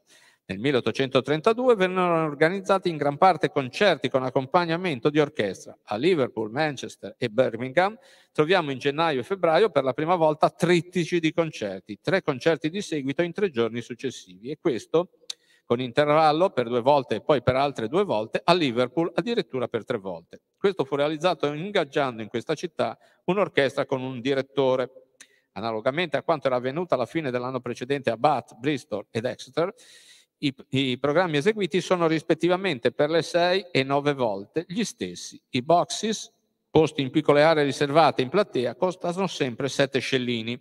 La stampa non ci fornisce indicazioni sui prezzi a Parigi nel 1832, ma ci informa per la nuova serie di 11 concerti a Londra in luglio ed agosto 1832. Qui troviamo notizia di posti a 7 scellini e 6 pence, l'uno come per esempio a Margate, Southampton, Winchester e Chichester.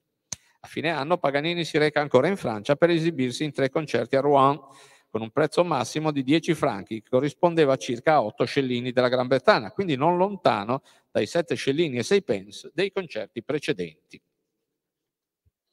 Scusate.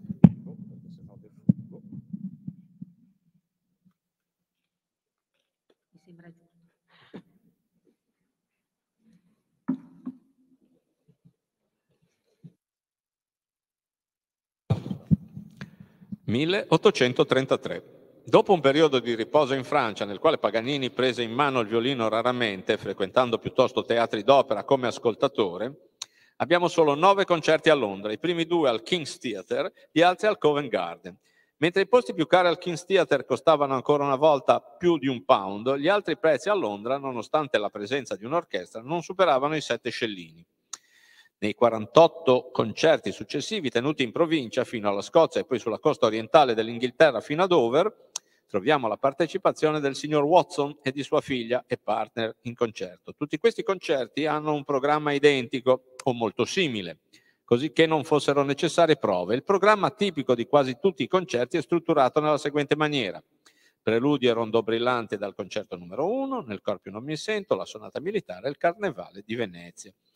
Qui i prezzi ammontano per i boxes a 7 scellini e 6 pence e qualcosa meno per i posti meno ambiti, in alcuni casi unico 7 scellini e 6 pence, senza differenziazioni. Solo gli abitanti di Lincoln, nell'ottobre del 1833, non vollero piegarsi alle richieste di Paganini ed ottennero 4 scellini per i box, 3 scellini per il parterre e 1 scellino e 6 pence per la galleria. Paganini accettò come segno di amicizia, vi fu un tutto esaurito e gli incassi furono maggiori che nelle altre città precedenti e questi volti sorridenti del pubblico come scrissero i giornali. Non conosciamo nessun caso analogo dopo questo. Francia-Belgio 1834. A marzo iniziò il breve viaggio in Francia e Belgio. Il Belgio era divenuto indipendente solo nel 1831 ed aveva un re della casata di Sassonia, Coburgo-Gotha. I primi tre concerti ebbero luogo in Francia, Amiens, Douai, Valenciennes. A Valenciennes vennero comunicati i seguenti prezzi, platea e posti accanto all'orchestra 10 franchi l'uno, al cambio nuovamente 8 scellini. Nella prima tappa belga, Mons, che in origine non era prevista nel programma e che probabilmente dobbiamo al musicologo, compositore e critico musicale Fetti, che era di questa città, si trovano i prezzi più cari in 10 franchi. A Bruxelles erano 12 franchi, a, ad Anversa 8 franchi e a Gand 9 franchi. A Bruxelles e Gand vi era un'orchestra a disposizione di Paganini. Il controvalore del franco belga era allora 1-1 rispetto a quello francese. Ad aprile Paganini raggiunse Londra e progettò una serie di concerti secondo uno schema particolare, non ancora sperimentato prima, che non riscosse però successo. Concerto serale nella Delphi Theatre, il giorno dopo esibizione al mattino nelle Hanover Square Rooms, quindi la sera successiva di nuovo alla Delphi e questo per ben sei volte consecutive, era sempre accompagnato dall'orchestra. Il prezzo massimo doveva essere di mezzo pound, cioè 10 scellini. Per tutti e sei i concerti il programma doveva essere composto dagli stessi pezzi. Per via dello scarso successo e di problemi di salute, poté, dei sei concerti programmati, realizzarne solo quattro. Dopo che eseguì per la prima volta la sonata per la Gran Viola, mezza Guinea per singolo posto, Paganini iniziò la sua ultima e relativamente breve parte di viaggio attraverso l'Inghilterra senza accompagnamento d'orchestra. Nelle città di Gloucester fino a Liverpool, Manchester, Worcester e Northampton eseguì solo 10 concerti, quasi tutti allo stesso prezzo a biglietto, 7 scellini e 6 pence. Quindi chiuse con concerti in quattro piccoli centri ad ovest di Londra, Windsor, Maidenhead, High Wycombe e Uxbridge ancora al costo di 7 scellini e 6 pence. Nei concerti londinesi del 25 maggio e 6 giugno 1834 lo stesso prezzo era ancora richiesto, posto unico, come da programmi di sala. Paganini era certamente conscio che il suo successo in Gran Bretagna si avviava alla fine e il numero di ascoltatori calava di volta in volta e con questo anche gli incassi.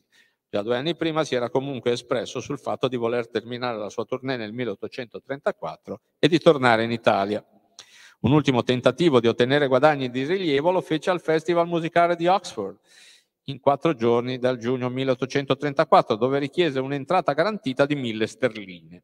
L'organizzazione però rifiutò e la stampa britannica e anche quella belga ironizzò sulla richiesta di Paganini. Paganini organizzò tre concerti con esibizione di 20 minuti ciascuno. A Dublino incassò 682 sterline, ad Oxford dovevano essere 1000. Forse Paganini ricordava ancora gli incassi del suo primo grande concerto a Londra nel 1831, intorno alle 1000 sterline. Ma Oxford non era Londra. In ogni caso il risultato dei suoi sforzi mostrò che Paganini non poteva più chiedere qualunque prezzo, il tempo era passato anche per lui. Nei mesi di maggio e giugno 1834 L'accompagnatore al piano di Paganini, il signor Watson, si trovò per motivi finanziari in prigione. I giornali parlano dei suoi debiti. Paganini, che dalla primavera 1832 oltre 160 volte era stato accompagnato al piano da lui, anche con esecuzioni della di lui figlia cantante della collaboratrice Harriet Wells, gli era riconoscente. Così pagò la sua cauzione e acconsentì al desiderio della figlia di Watson di dare un concerto a suo favore. Questo concerto, che doveva essere l'ultimo di Paganini in Inghilterra venne promesso, e venne promosso scusate, come suo concerto d'addio, fu anche il primo ed unico nel Teatro Vittoria di Londra. Paganini pretese per i boxes tra le due sterline 12 scellini e 6 pence, che rispondevano a circa 17 1,5 talleri, il posto più economico costava uno scellino, cioè un terzo di tallero. Per questo concerto di beneficenza la stampa parlò di bel gesto di generosità che contribuirà a convincere il pubblico che egli non è il cattivo uomo senza cuore, quale è così sovente visto. Con questo concerto si chiude definitivamente il soggiorno di Paganini in Gran Bretagna e la sua tournée europea.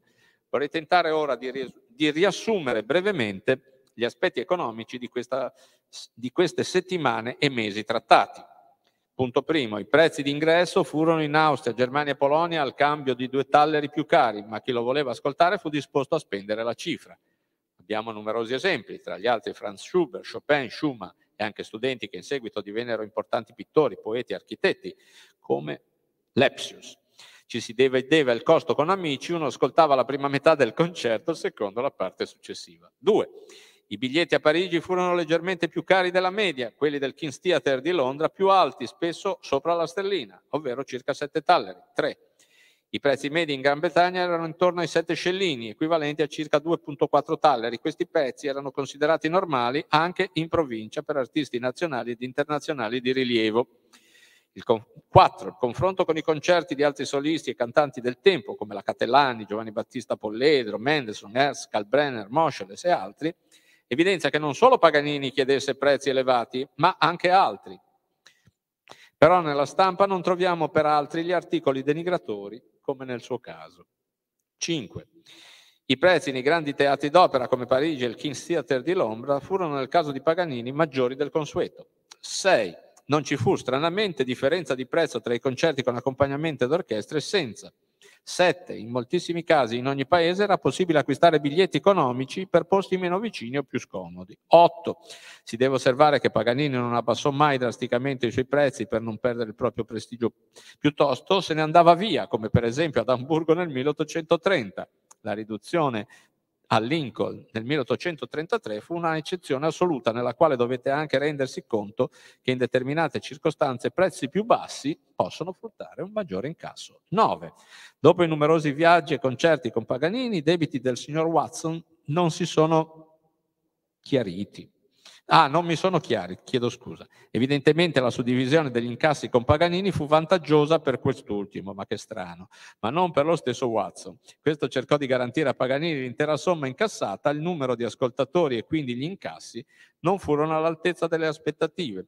La stampa notò che lo scarso successo dei concerti nelle Hanover Square Rooms di Londra nel 1834 condusse ai tracolli eh, finanziari di Watson. 10 i concerti di beneficenza non incidono sui guadagni, i biglietti di questi concerti sono spesso meno cari che negli altri concerti. 11, secondo i giornali britannici del 1837, l'intero guadagno della sua tournée ammontava a circa 400.000 pound, ovvero 10 milioni di franchi, una somma inaudita che fino ad allora nessun virtuoso di violino aveva percepito. Se queste indicazioni rispondono a verità, lo sanno forse i discendenti di Paganini. Ringrazio per l'attenzione Andreas Lange.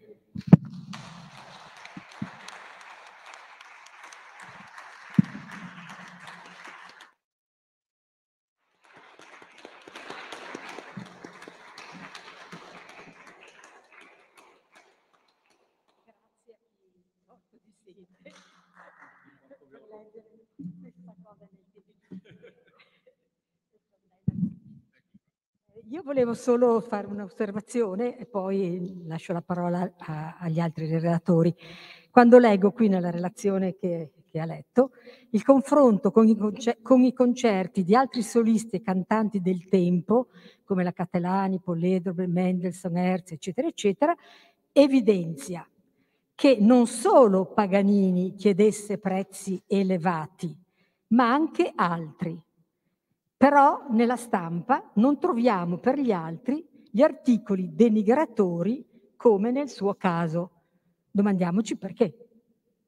No? Nel senso che è possibile che si parlasse solo dell'aumento dei prezzi di Paganini e non degli altri.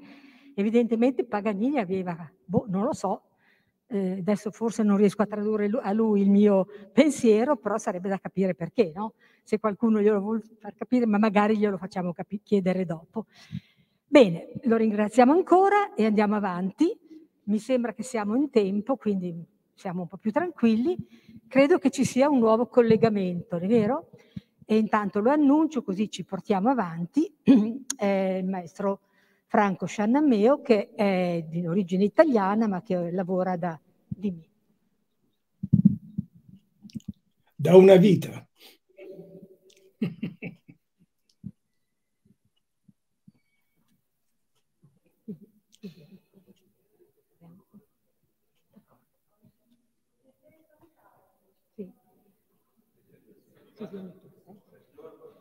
Bene, eh, buongiorno professore.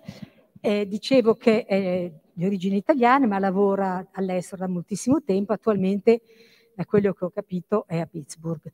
Ehm, ehm, Inizialmente era stato presentato un argomento che poi evidentemente è stato messo da parte perché non si parla più eh, del Couvent, ma si parla invece di un altro aspetto altrettanto interessante, che sono i ricordi di un pittore, ritrattista e pittore irlandese che era attivo a Londra, uno dei tanti che hanno eh, raffigurato Paganini nelle pose più, più vere e meno vere. E questi racconti sono abbastanza sconosciuti e di questi ci parla il professore in questa relazione, che ringraziamo e che speriamo di poter ascoltare un po' meglio di quello del relatore precedente. A lei, professore, grazie. Grazie a lei. E questa lettura sarà fatta in inglese perché è basata su un testo inglese, ragione per la quale questo potrà facilitare certe referenze che farò. Allora, good afternoon everyone and many thanks for arranging the remote participation of some of us to such a prestigious conference. I'm truly grateful. Thank you again. Recollections of Paganini, a series of literary autobiographical vignettes attributed to Daniel Maclise, reflects facts and events that occurred in London between the 2nd of July and August 13, 1831, a time frame carved out from Paganini's very intense first tour of the British Isles from May 14, 1831 to March 8, 1832. It appears that these recollections escaped the hawkish attention of the Paganini scholarly community, probably because the presumed author, a renowned Irish artist, portrait painter, and illustrator active in London for most of his life, was not a professional music critic. He chose, in fact, to divulge his memoirs of the legendary artist through the pages of the Court Journal, a weekly publication whose readership was indeed part of the influential fashionable world heralded in the journal's full title. Curiously, though, recollections of Paganini managed to cross the Atlantic and appeared in print in the Literary Journal of Providence, Rhode Island, on July 6, 1833. Was this an effort on the part of the American press to probe public interest for the artistry of Niccolò Paganini and the prospect of a foreseeable appearance on American soil, Paganini never ventured across the Atlantic, despite some initial temptations at the time of his dealings with John Watson in England. At any rate, it was ultimately Camillo Sivori who toured the United States, Mexico, and South America in mid century followed by Henri Vieuxtemps, Ole Bull, and finally Sarasate and Wieniawski in 1870. Now, Signor M, Daniel Maclise, as he referred to himself in Recollections of Paganini, preempted his memoir with a sort of counter hermeneutical statement aimed at justifying the randomness of his narrative he wrote, the following memorials of anecdotes and conversations have been penned without much attention to order or arrangement. They assume no higher pretension than that of being true relations of certain passages which occurred in the author's friendly intercourse with the remarkable person to whom they refer and respecting whom the public curiosity has by no means been satisfied to the extent of excitement. Hmm. Daniel Maclise cared to inform his readers in a somewhat bragging tone about his command of the Italian language that allowed him to assume a self appointed Virgilian role to Paganini during his sojourn in London, an infernal city, some would have said, of over a million people. In this introduction to the original text, I sift through its vignettes with intent to corroborate, whenever possible, the veracity of people and facts emerging from the narrative. Furthermore, I establish a chronological contextualization of the material relevant to a portrayal of Paganini as a cordial, well traveled, well bred gentleman sensible to the buzz surrounding the cultural life burgeoning in and around London, and to the esteem and care bestowed upon him by a coterie of friends and colleagues whom he welcomed with Italian opera arms and a tight lipped sense of humor. But there are no reference to anything diabolical. I'm pleased to report. When in December 1832, the readers of the court journal enjoyed Signor M's stories about events that occurred the previous year, many amongst the fashionables, ladies and gentlemen who attended Paganini's performances in England, Ireland, and Scotland basked in their own recollections of that much talked about, mesmerizing foreigner who dared shake their emotional lives with the promise to return to their land to give more of his magical self. So, Maclise's retrospective look at his special friendship with the virtuoso heralded, intentionally or not, the greatest violinist of all times next tours of the British Isles, which extended with interval, inter, intervals in between through 1834. Paganini's triumphal tour of Vienna, Germany, Warsaw, and Prague from March 1828 to November 1830, followed by a Parisian series of concerts March 31 to May 1831, encouraged him to consider a proposal advanced by Pierre Francois Laporte, manager of the King's Theatre in London, to sign a contract.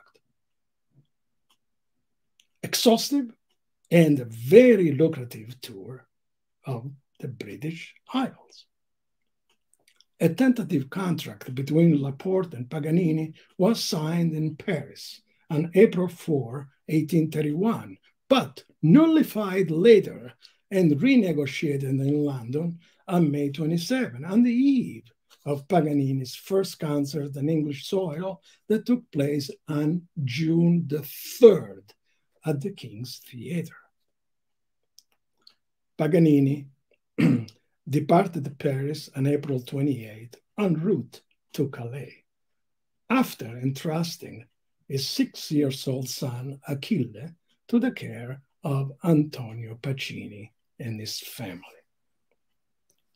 Never one to miss an opportunity to bar idleness and perform for financial gain, Paganini offered concerts in town like Boulogne-sur-Mer, Dunkirk, Lille, Saint-Omer, and finally Calais on May 10th. These concerts were organized by Pacini, who also accompanied Paganini across the English Channel or just saw him off to Dover, where he disembarked on May the 13th. Ultimately, a coach took the traveler to London arriving on the morning of Sunday, the 14th of May. Laporte welcomed the virtuoso and supervised his accommodation in the fashionable Hôtel Sablonnière à Provence at Leicester Square. Paganini later became disillusioned by the choice of hotel. His sensitive nerves were overpowered by the city noises, which apparently went on without interruptions. By June, the virtuoso moved to more congenial quarters located at the quadrant at Regent Square, the location where Maclise, according to his established costume, was to call on Paganini every day. Niccolò Paganini set foot in England, carrying several influential letters of recommendation, which he deployed at strategical opportunities. The reference included Sir Ashley Cooper, the King's surgeon, Dr. Archibald Building of the London Hospital, the Duke of Sussex, the Earl of Harrington, and the dentist, Dr. Samuel Cartwright, who he visited first thing on Monday after his arrival. Paganini's dental problems and ill-fitting dentures afflicted him throughout his life. Dr. Cartwright was able to alleviate his suffering in a satisfactory manner. Furthermore, the dentist organized a musical evening and dinner at his house for the day after the dental consultation. It appears that Paganini enjoyed listening and or playing Beethoven's quartets while getting acquainted with violinists Francois Kramer, Paolo Spagnoletti, the violist Anton Moralt, and the cellist Robert Lindley, who were joined by singer Henry Phillips and the celebrated double bass virtuoso Domenico Dragonetti. Allora, the opening episode of Recollections of Paganini dates July the 2nd, 1831. It describes Paganini's noble stance while sitting for a portrait bust being executed by the famous sculptor Benedetto Pistrucci. Filippo Pistrucci, Benedetto's brother and comic actor at the King's Theatre, Dr. Billing and Daniel Maclise formed a lively group of visitors who entertained Paganini in the course of the tiresome sitting. Upon Paganini's request, Maclise translated some encomiums that the Harmonicon, a musical journal often critical of Paganini, had proffered in favor of the Italian virtuoso. It was during this verbal exchange that Paganini mentioned his Filosofia del Violino, without, however, going into detail or mentioning the subject again to his host. As a coda to this episode, Maclise informed the readers about his fascination with Paganini's unusually inspiring physiognomy and the aesthetical urge that prompted him to draw a pencil sketch of the violinist's effigy, remarking that Paganini's temper was sometimes affably communicative, but more frequently melancholy and reserved. Never diabolical. The second episode, dated July 6, reports about a chore Maclise executed on Paganini's behest at the office of the Lord Chamberlain. This office was in charge, among other matters, of the political censorship applicable to events taking place in the royal theatres. Thereafter, Paganini invited the writer to a one on one dinner. Lively conversation and toast to prosperity to artists ensued amidst praises of operatic divas Angelica Catalani, whom Paganini heard for the first time in Milan at La Scala in June 1823, and Giuditta Pasta, whom Paganini and Maclise were going to hear that very evening in the role of Desdemona in Rossini's Otello. The third episode, taking place next day, July 7th, is a bit puzzling. The result, perhaps, of the author's memory randomness. I'm not that sure. But he wrote as follows I called to leave with Paganini a copy of his newly published Rondeau alla Campanella, the frontispiece to which represented the signor engaged with his violin and Lablache, occupied in tinkling the bell. He was amused with this, but asked with a laugh, Hey, cosa dirà Lablache? What will Lablache say to it? Well, in the hope of shedding some light on this alleged newly published Rondeau alla Campanella, I advanced three hypotheses.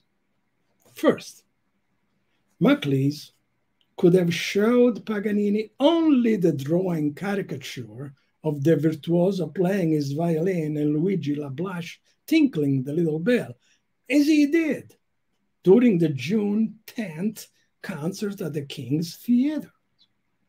On that occasion, Paganini's second violin concerto was heard in England for the first time. On June the 30th, Paganini performed this concerto again in a version announced in the press as Grand Concerto in three parts, Allegro maestoso, Introduzione religiosa canto corale, Rondo with bell accompaniment. The second hypothesis indicates that Maclise could have obtained an advance copy of Ignaz Moschel's Gems alla Paganini Book 2, which included a piano rendition of La Campanella drawn from Paganini's performance on June 10 or perhaps the 30th. The sale of this edition, published by Mori and Lavagno, was advertised in the Harmonicon as a package, including optional portraits of Paganini printed on various grades of quality paper. Therefore, it is not to be excluded that Nicholas Mori, the London based violinist publisher and Paganini admirer, could have issued a very limited edition of Moschel's La Campanella only, bearing the Paganini Lablache caricature on its front cover. But ultimately, more likely, Maclise presented Paganini with Marshall's Book Two of Gems and the Lablache caricature separately. Also, it is important to note in this instance that Marshall's Book One of Gems alla Paganini, a series of fantasies and Paganini themes originally approved by the composer, included a piece entitled Canto dei Frati, the monks' chant, that could have corresponded to the second section of the Introduzione Religiosa Canto Corale, included in the June the 30th version of the second violin concerto. Furthermore, the thematic material of Canto dei Frati is identical, key signature aside, to the minuetto moderato included in Le Matinée du Convent du Mont Saint Bernard, con campanello, orchestra e coro a canto fermo that Paganini and Abnett premiered in Paris on April 29, 1832. This work, re-entitled Le Couvent du Mont Saint Bernard, performed in London on July the 13, 1832 and July 12, 1833, will indeed be the subject of an extensive discussion at another time. The fourth episode of Recollections occurred on July 9. It reports the well-known story regarding the master-pupil relationship between Paganini and Neapolitan cello virtuoso Gaetano Ciandelli, mistakenly identified by the writer as Niccolò Cindrelli. Yes, this vignette one more time perpetuates the ineffability of Paganini's pedagogical magical method already discussed by Shotsky in its biography of Paganini, Prague, 1830, and in Fraser's magazine Town and Country on page 236 of the September 1831 issue, which Macleese was surely aware of by the time he published his recollection of Paganini's. Now, of course, in both Shotsky and Fraser's magazine, there is no Niccolò Cindrelli, but Gaetano Ciandelli. Okay, I think we will forgive Daniel Maclise. The visit concluded with a joyous event when Paganini, wrapped up in his customary air of abstraction, invited Maclise to share a few glasses of capital Bordeaux wine as the portent to a great announcement the arrival of the diamond ring sent as a gift by King William IV. The event prompted Maclise to show off his classical savvy by proclaiming in a somewhat oration style the made up dictum Dies alba creta notandi. A day carved in stone since its dawn, or something to that effect. On August the 8th, Maclise reflects on the chamber music gathering hosted by Dr. Cartwright on May the 16th, to which he also attended. The argument among the London connoisseur was whether Paganini could play in string quartets. And it seems that the virtuoso indulged by favoring the quartets of And Beethoven. And at the guest's request, some of his own early string quartets, possibly those composed for the King of Sardinia in 1815 1817, that Paganini said he had performed only once before in Prussia. Well, Paganini passed muster, and the London distinguished amateur pronounced his performance a triumphal effect. Like it could have been any different.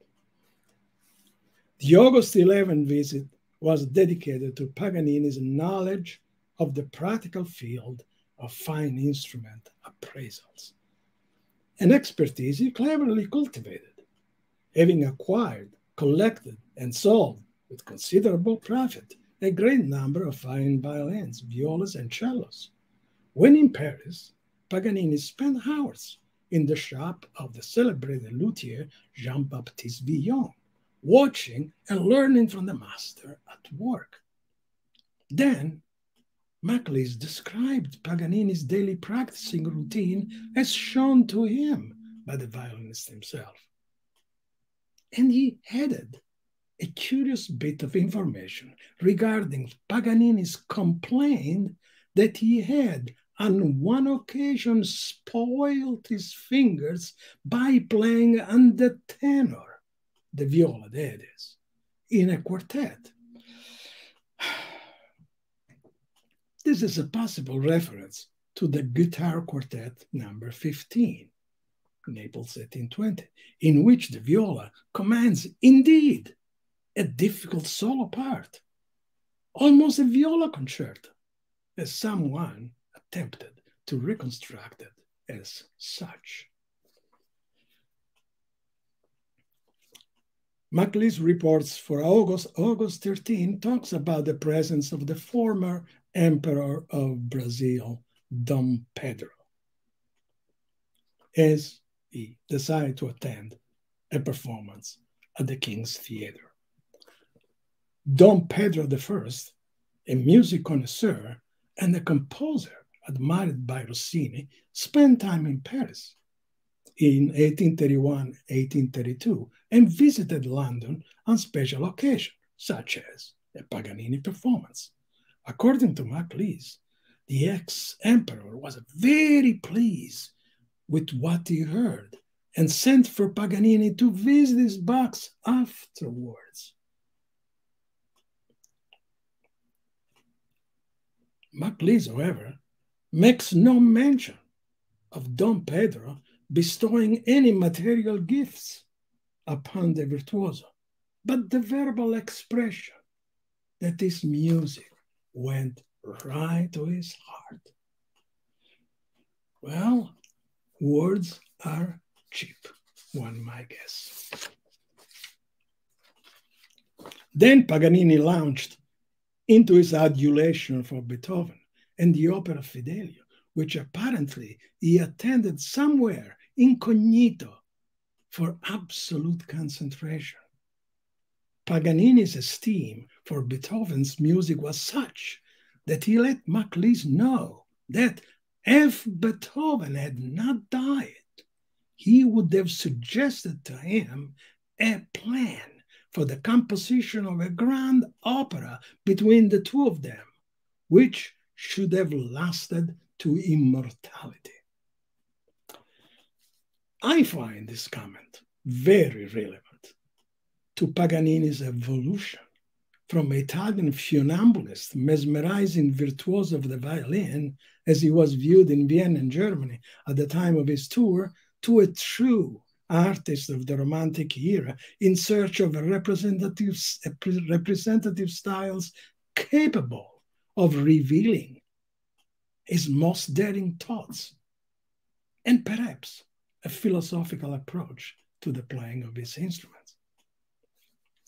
Works bearing descriptive titles abound in Paganini's catalog, but their programmatic developments are limited, succumbing instead to the bravura variations cliché. Paganini must have thought of Beethoven as the man of providence, destined to wrap his virtuosity into a highly musical conception. With Beethoven dead, however, Paganini fell into the mediocrity of a Joseph Panni and his Suonata Drammatica La Tempesta. Yeah, but Hector Berlioz appeared on the horizon as the savior of Paganini's romantic fulfillments. Harold in Italy was a missed opportunity for the virtuoso. But Berlioz's stature as a composer continued to grow stronger and taller in Paganini's mind, reaching his apogee in a strange composition he called Le Couvent du Mont Saint Bernard, in which he tried to sublimate his violin virtuosity and compositional ambitions on the altar of the contemplative aspects of nature and life. Of the remaining vignettes, I appreciate that about the human, tender, jaw dropping image of Domenico Dragonetti as he uttered the words, Non ho potuto dormire tutta la notte. I have not been able to sleep all night after hearing Paganini playing for the first time. We're not surprised. Finally, the presence in Paganini's life of Dr. Archibald Billing deserves special attention here, as the friendship between, between Paganini and Billing grew stronger than ever during the virtuoso three extent tours of the British Isles and beyond. The Irish born Dr. Billing was the most famous physician in London and one of the staunchest music connoisseurs the city could boast. So he too was invited by Dr. Cartwright to meet the illustrious guests at his house on May 16. Whether Paganini was in possession of a letter of introduction for Billing, uh, written perhaps by Dr. Bennati in Paris, is not of much relevance here. More important would be the notion that Dr. Billing was well informed about Dr. Bennati Notice Physiologique, which had just appeared in the May issue of the Revue de Paris, and Lafollet's Notice and so on, which was published by Guillot in Paris in 1830. But the Paganini Billing friendship extended well behind the doctor patient relationship. Billing assumed, in fact, a role similar to that of Jeremy in Genoa confidant, business advisor, and reference as outlined by Albert Cooper in his Dr. Billing, I presume, published in the Strad of June 1990, a short article which included the facsimile of Paganini's autographed piano transcription of La Campanella, signed and dated Londra, agosto 1831, whose manuscript, Cooper tells us, came from the Billing family. Such was Paganini's gesture of goodwill to a friendship very dear to his heart.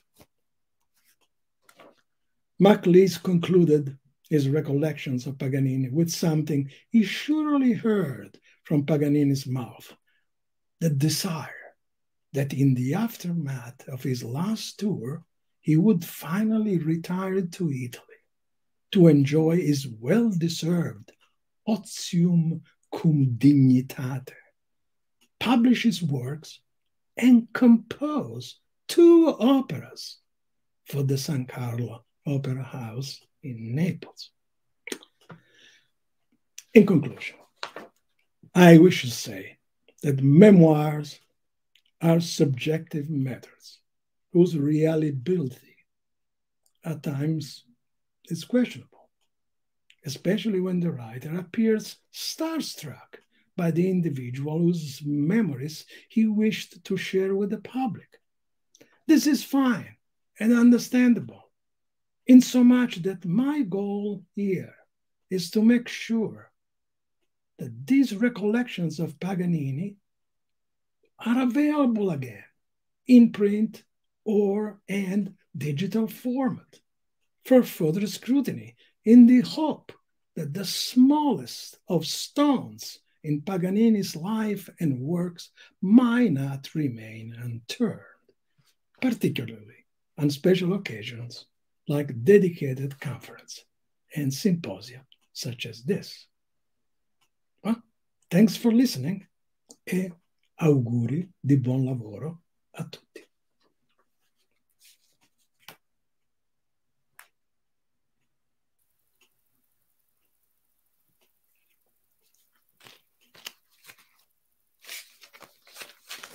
Abbiamo avuto qualche difficoltà forse in certi momenti, ma è così purtroppo. Ehm, la ringraziamo molto. Adesso invece ci ricolleghiamo con il professor Borer che pare che sia nuovamente in linea e quindi cerchiamo di ascoltare quello che ci dice il professor Borer.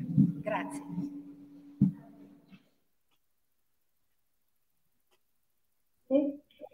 Posso cominciare?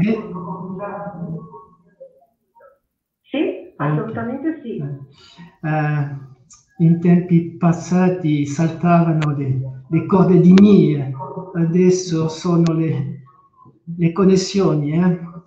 tante scuse. E, e mille grazie al supporto tecnico che fa un lavoro fantastico. Eh, adesso, eh, in onore del dottor Andreas Lange, vorrei preludiare con una breve digressione su Paganini a Berlino. Paganini fece una tournée di concerti in Germania nel 1829 e a, a, Berlino, a Berlino suonò 11 volte con un successo fenomenale. I primi tre concerti ebbero luogo il 4, 13 e il 19 marzo alla Schauspielhaus. Tra il pubblico c'era Hegel, il filosofo. Pochi giorni dopo Hegel detto ai suoi studenti alcuni, alcune riflessioni sul virtuosismo strumentale e sull'improvvisazione. Queste furono incluse nel se- secondo volume dell'estetica. Il concerto paganiniano era stato un punto di svolta. Fino ad allora Hegel aveva espresso disprezzo per i virtuosi strumentisti, trovando l'esibizione di difficoltà meccaniche di cattivo gusto. Dopo aver eh, ascoltato Paganini, Hegel dovette rivedere completamente il suo giudizio. Durante la lezione del 19 marzo egli professò che la vetta più alta di vitalità musicale si raggiunge quando un virtuoso di genio improvvisa con, non con la voce, ma con uno strumento, arrivando ad una completa coincidenza di interiorità e esteriorità, a una completa fusione di concezione ed esecuzione. L'artista geniale trascende la mera meccanica. Il suo strumento cessa di essere uno strumento e diventa un'estensione di se stesso. Il meraviglioso mistero di uno strumento esterno che diventa un organo completamente animato. Das wundervolle Geheimnis, das ein äußeres Werkzeug zum vollkommen beseelten Organ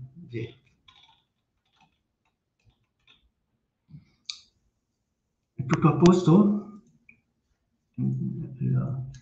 Giorgia? Sì, è tutto Ah, a posto, la sentiamo. Grazie. Proseguo. Tra il pubblico berlinese c'era anche la pittrice Caroline Bardua. Il famoso ritratto che dipinse dal vero pochi giorni dopo e che Andreas Lange ci ha rivelato nel 2000 2002 nei quaderni dell'Istituto di Studi Paganiniani, include dei simboli legati sia alla tradizione ermetica che alla vita e alla carriera di Paganini. Di particolare interesse è l'angelo in alto a sinistra accanto al violino. Viene raffigurato in un globo luminoso guidando il braccio di un giovanissimo violinista. Il fatto è che Paganini spiegava che sua madre aveva invocato l'assistenza divina affinché egli diventasse un gran violinista.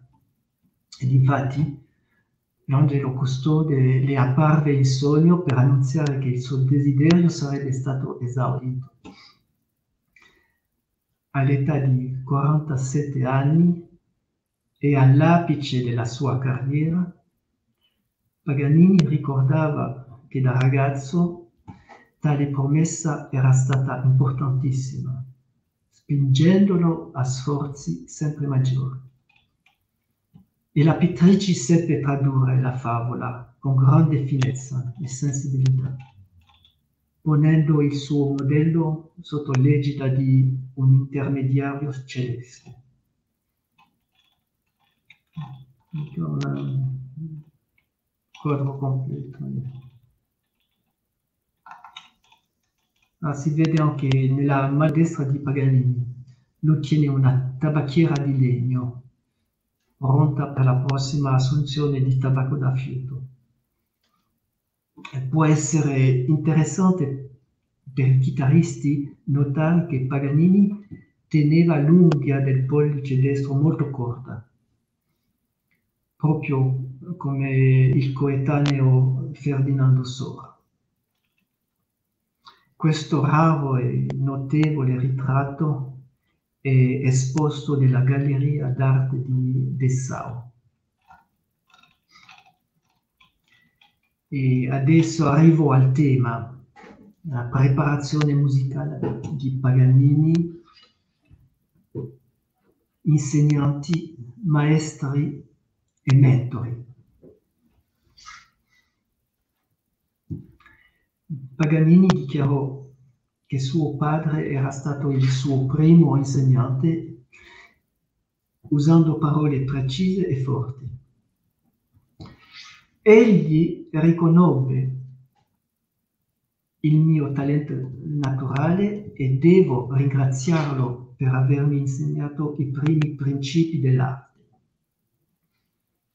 Paganini quindi ammetteva di buon grado che i suoi successi procedevano da questi primi principi e lo intendeva certamente in senso genoniano. Antonio Paganini cominciò a dare istruzione musicale a Niccolò durante l'anno 1787. Il primo strumento che il bambino imparò a suonare fu un mandolino di tipo napoletano, cioè accordato in sol re la mi come il violino.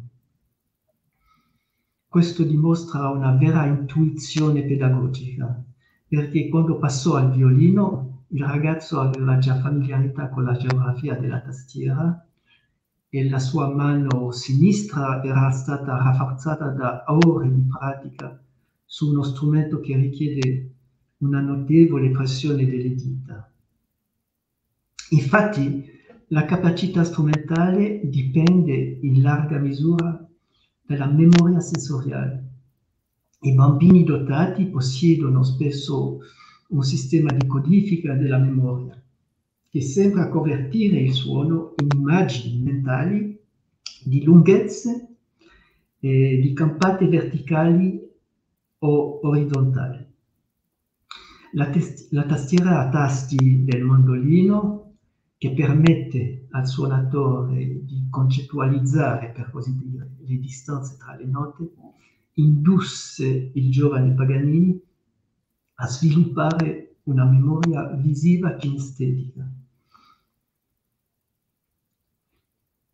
Un repertorio di lunghezze e spazi corrispondenti alla formazione degli intervalli. Nel suonare il mandolino si usa un plettro per mettere in vibrazione le corde.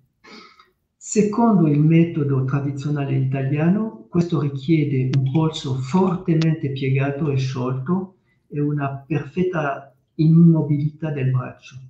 Questo può senz'altro aver influenzato la tecnica d'arco di Paganini.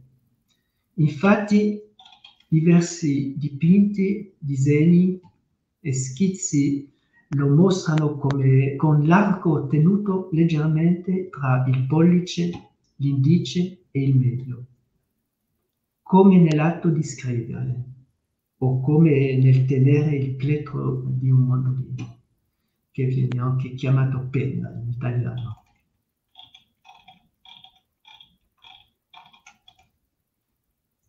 È sempre tutto a posto? Allo? Ah, bene, grazie, grazie. Alla luce eh, dei risultati, eh, l'influenza di Antonio Paganini sembra essere stata positiva. Tale ascendente potrebbe persino estendersi ad alcune delle idee contenute nei capricci che furono per inciso presentati per la pubblicazione soltanto nel novembre del 1817, pochi mesi dopo la morte di Antonio e molto dopo la loro composizione. Sulla formazione musicale di Antonio Paganini ci sono purtroppo, purtroppo pochissime informazioni disponibili. Si possono ipotizzare contatti con allievi genovesi di Filippo Manfredi, un discepolo di Nardini e un esperto degli suoni armonici. Un'indagine in questa direzione potrebbe portare un po' di luce. In ogni modo, Antonio Paganini, che aveva contatti nel mondo della musica popolare, fece in modo che suo figlio che suo figlio fosse coinvolto professionalmente fin dalla tenera età.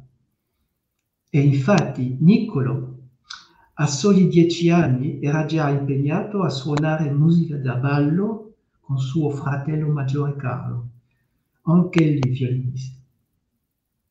Sono stati ritrovati, grazie a Maria Rosa Mauretti, documenti che attestano che i due ragazzi abbiano suonato per la cifra di 50 lire durante il carnevale eh, genovese del 1793 in un evento popolare, il ballo da bastoni. La musica eseguita in tali occasioni consisteva in improvvisazioni basate su danze popolari e schemi ritmici come alessandrini, perigordini, scozzesi, valzer e contradanze, come le contradanze inglesi pubblicate da Berenreiter nel 2013. È da sottolineare che Paganini aveva trascorso la fase iniziale e più vitale del suo apprendistato lontano dai metodi corretti e lontano dalle regole dogmatiche prevalenti nelle istitu- istituzioni musicali dell'epoca. Fortunatamente, come egli stesso spiegò a Schottky, suo padre seppe riconoscere, riconoscere il suo talento naturale, intuendo che suo figlio non avrebbe tratto beneficio di un'influenza esterna in quella fase, particolarmente per quanto riguarda la tecnica strumentale. Anzi, il ragazzo sarebbe probabilmente stato costretto ad, ad, ad adeguarsi alla norma. Infatti l'impugnatura della mano sinistra di Paganini con la posizione del pollice nel palmo, così ben rappresentata negli schizzi di, Lanzer e nel ritratto di Delacroix, così come altri stratagemmi tecnici menzionati da Fetis e da Cargour, ricorda quella dei violinisti popolari piuttosto che quelli di formazione accademica. Con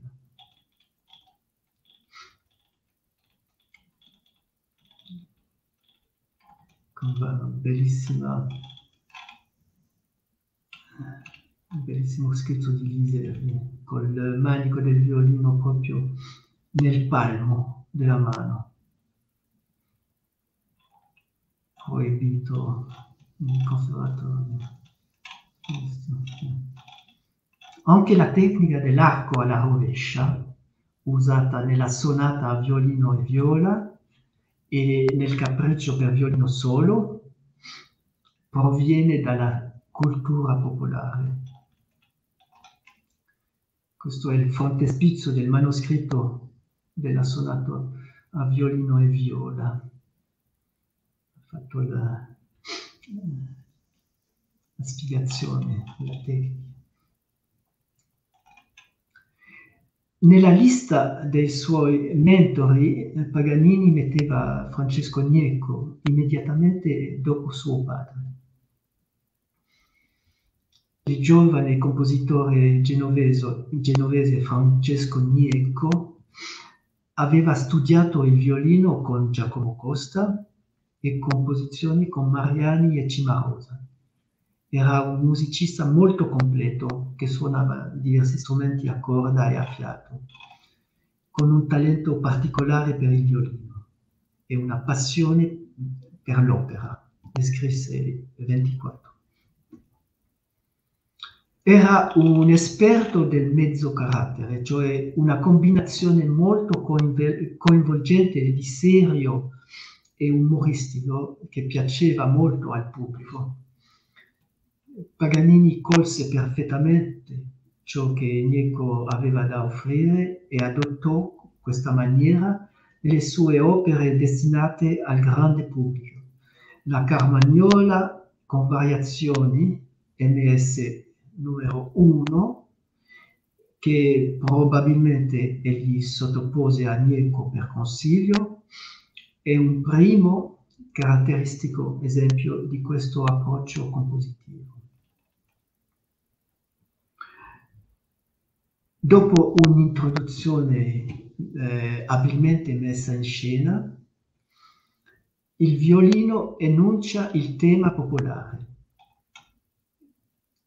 Le 14 variazioni successive sono in uno stile brillante e virtuoso, nonostante le complesse figurazioni ed altre escursioni violinistiche, il discorso musicale mantiene sempre una stretta relazione con il tema, il quale può essere sovrapposto ad ogni variazione con grande effetto. Si può così immaginare il pubblico genovese prendendo parte all'esecuzione e dando, e dando, per così dire, un sostegno vocale al giovane violinista.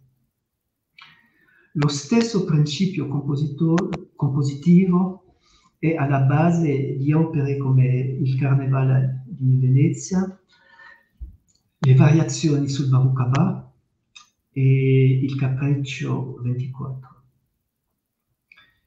In queste opere le variazioni presentano una straordinaria diversità di effetti, ma la struttura interna del tema viene rispettata e conservata. Diventa quindi possibile contrappuntare qualsiasi, qualsiasi variazione con il tema e persino sovrapporre due o in certi casi più variazioni. Questo è stato illustrato da Franz Liszt nello studio numero 6, lo studio Paganini numero 6 del 1852.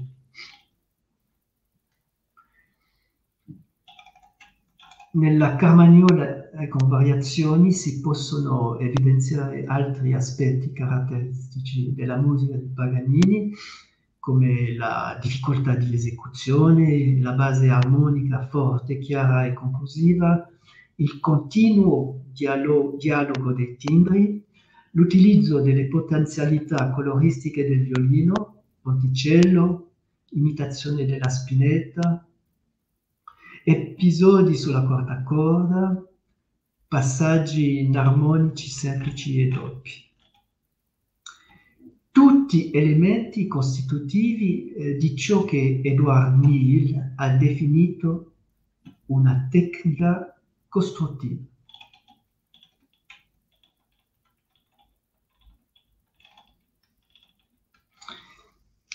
Il terzo nome citato nella lista dei mentori appartiene a uno dei più famosi cantanti dell'epoca, Luigi Marchesi.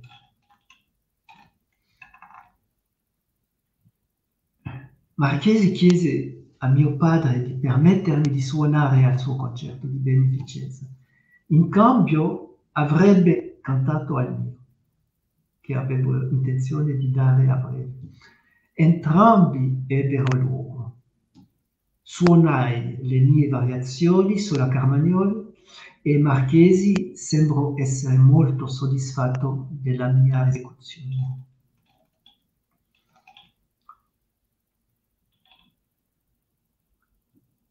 Paganini ammirava molto Marchesi, Babini, Pacchierotti, Veluti e Crescenti, con cui fece amicizia. Acquisì una conoscenza così profonda dell'arte del bel canto che era in grado di impartire le sue intuizioni ai cantanti.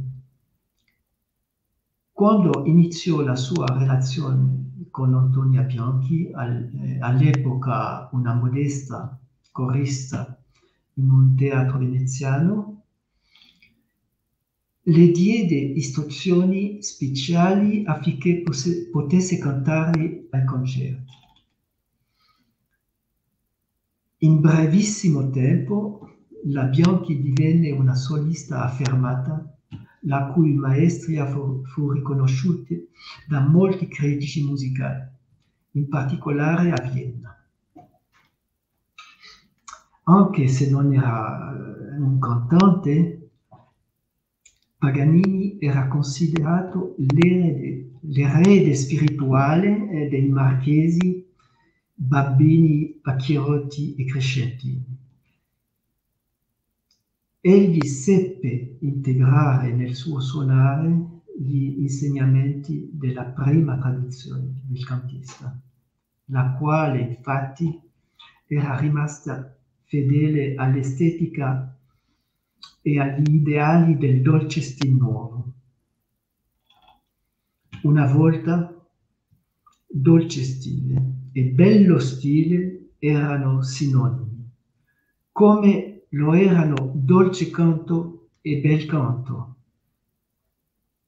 Il genio interpretativo e improvvisativo di, di Paganini, la sua padronanza del tempo rubato, cioè la dimensione improvvisativa del ritmo, e il modo in cui impartiva le inflessioni della voce al suo strumento avevano radici lontane e profonde nella tradizione, echeggiando il dolce canto di Pietro Casella.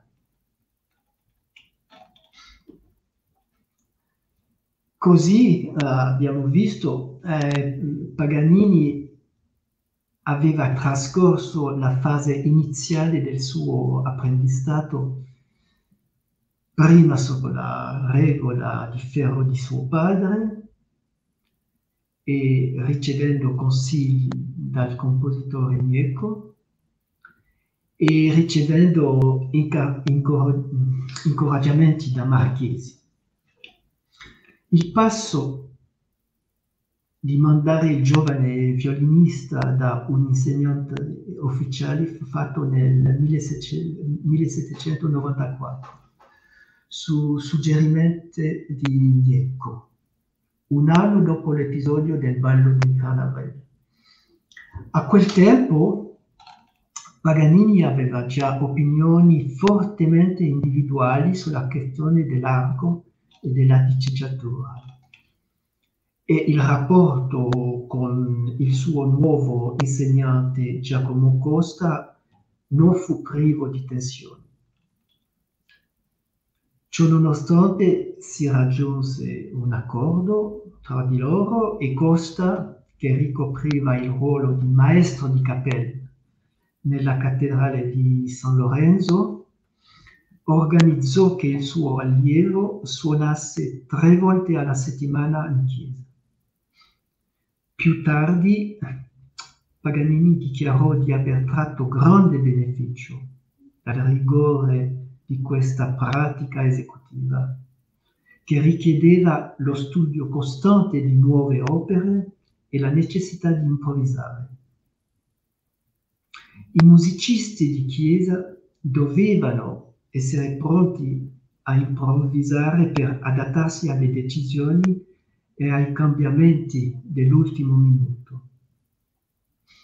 Inoltre, l'improvvisazione ha un significato speciale nella liturgia, con particolare riguardo agli strumenti ad arco, perché, come scrive Papa Pio XII, esprimono i sentimenti gioiosi e tristi dell'anima con una potenza indescrivibile. Suonare in chiesa più volte alla settimana gli permise di acquisire una cultura religiosa ed ebbe l'opportunità di ascoltare le omelie del reverendo Giacomo Cepolin, di Monsignor Luigi Antonio Schiaffino ed altri. Per quanto riguarda il repertorio della musica suonata nelle chiese di Genova a quel tempo, Includeva le opere di Corelli, Vivaldi, Porpora, Rossi, Stradella, Nardini, Scarlatti, Padre Martini, Galuppi, Pergolesi, Piccini, Durante, Somis, Cimarosa, Iomelli, Pleyel e Mozart.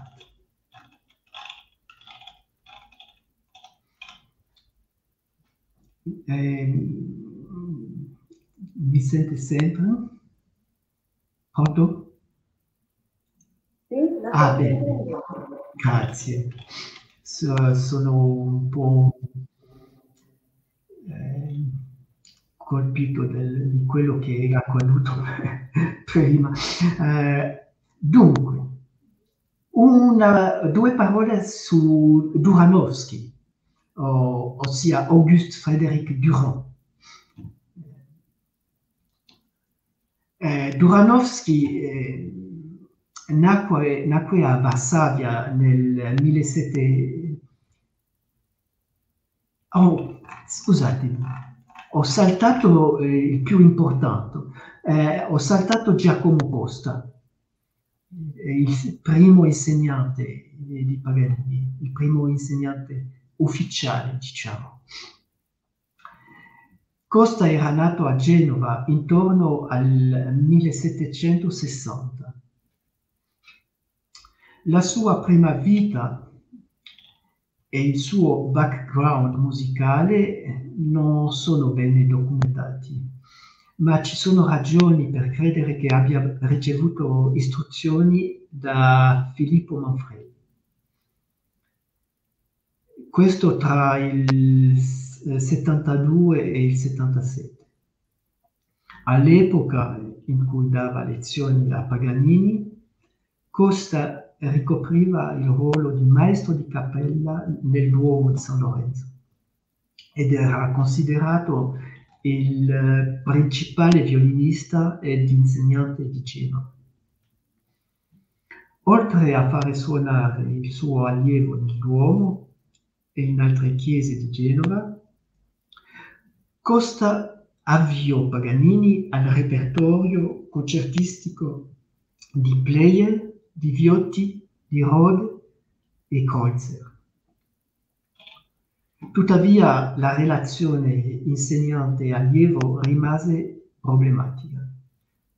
Paganini aveva opinioni fortemente individuali sulle questioni di tecnica e che non era disposto a scartare in cambio dei rigidi principi di Costa. E per aumentare le tensioni, Paganini, dopo, dopo aver ascoltato il viol- violinista Doranovsky, si mise a sperimentare tecniche speciali che erano al di là del campo di competenza di Costa. Duran- Duranovsky eh, dunque eh, nacque a Varsavia, figlio di un emigrato francese alla corte del principe Oginski come musicista. Nel 1789 Duranovsky divenne allievo di Viotti, che lo trovò in possesso di un grandissimo talento e di un'eccezionale capacità di padroneggiare le difficoltà tecniche. Nel eh, 94-95 fece una tournée in Germania e in Italia. Paganini lo conobbe in quel periodo e più tardi confessò a Fetis che Duranovsky era stato l'ispirazione per alcuni dei suoi effetti virtuosistici. Professore, fra cinque minuti chiudiamo la mm, conferenza. Benissimo, allora mh, cerco a mh, concludere con eh, due parole a proposito eh, di, di Giancarlo Di Negro e di eh, Paganini. Ehm, cioè una fonte importantissima dello stile esecutivo e interpretativo di Paganini è infatti l'arte degli improvvisatori come Metastasio, Perfetti, Francesco Gianni e infatti Giancarlo Di Negro, il generoso mecenato genovese. Di Negro ebbe l'opportunità di sentire Paganini suonare in chiesa, giovanissimo, eh, e gli aprì le porte della sua famosa villetta Così eh, Paganini divenne un frequente ospite, nonché un assiduo, un assiduo frequentatore della biblioteca, eh, del mecenate poeta. L'atmosfera in Casa di Negro fu molto favorevole allo sviluppo dei suoi interessi intellettuali. Conobbe così Martin Piaggio, Felice Romani, Pietro Isola, Lorenzo Costa e il grande improvvisatore Francesco Gianni. Per temperamento Paganini si sentiva vicino ai poeti improvvisatori e fu ispirato da loro. L'improvvisazione poetica richiede un'enorme concentrazione e sforzo emotivo ed era nota per causare effetti fisici, fisici dannosi. Trasportati dal loro entusiasmo, i grandi improvvisatori erano capaci di sognare cento e più versi.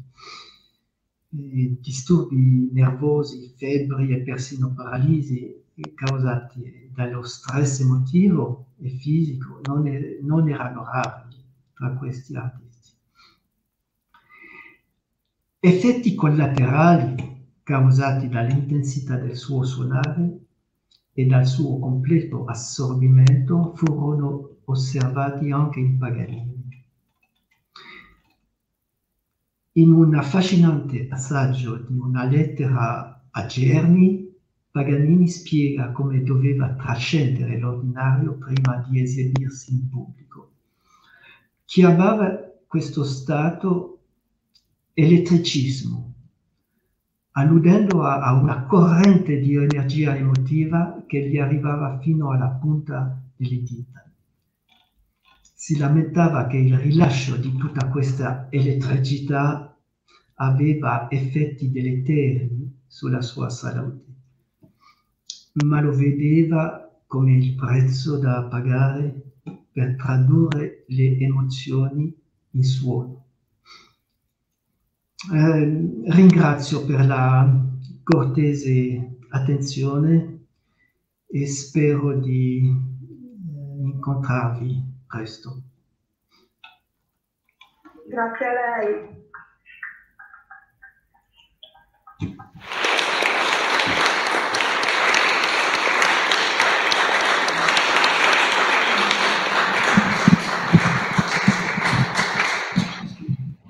E grazie a lei, anche che ha capito un po' le esigenze del tempo, che ovviamente leggeremo però con attenzione poi la sua relazione, ovviamente, che da quello che ho capito verrà pubblicata, quindi avremo modo di approfondire quanto ha detto e leggere quello che non ha potuto dire.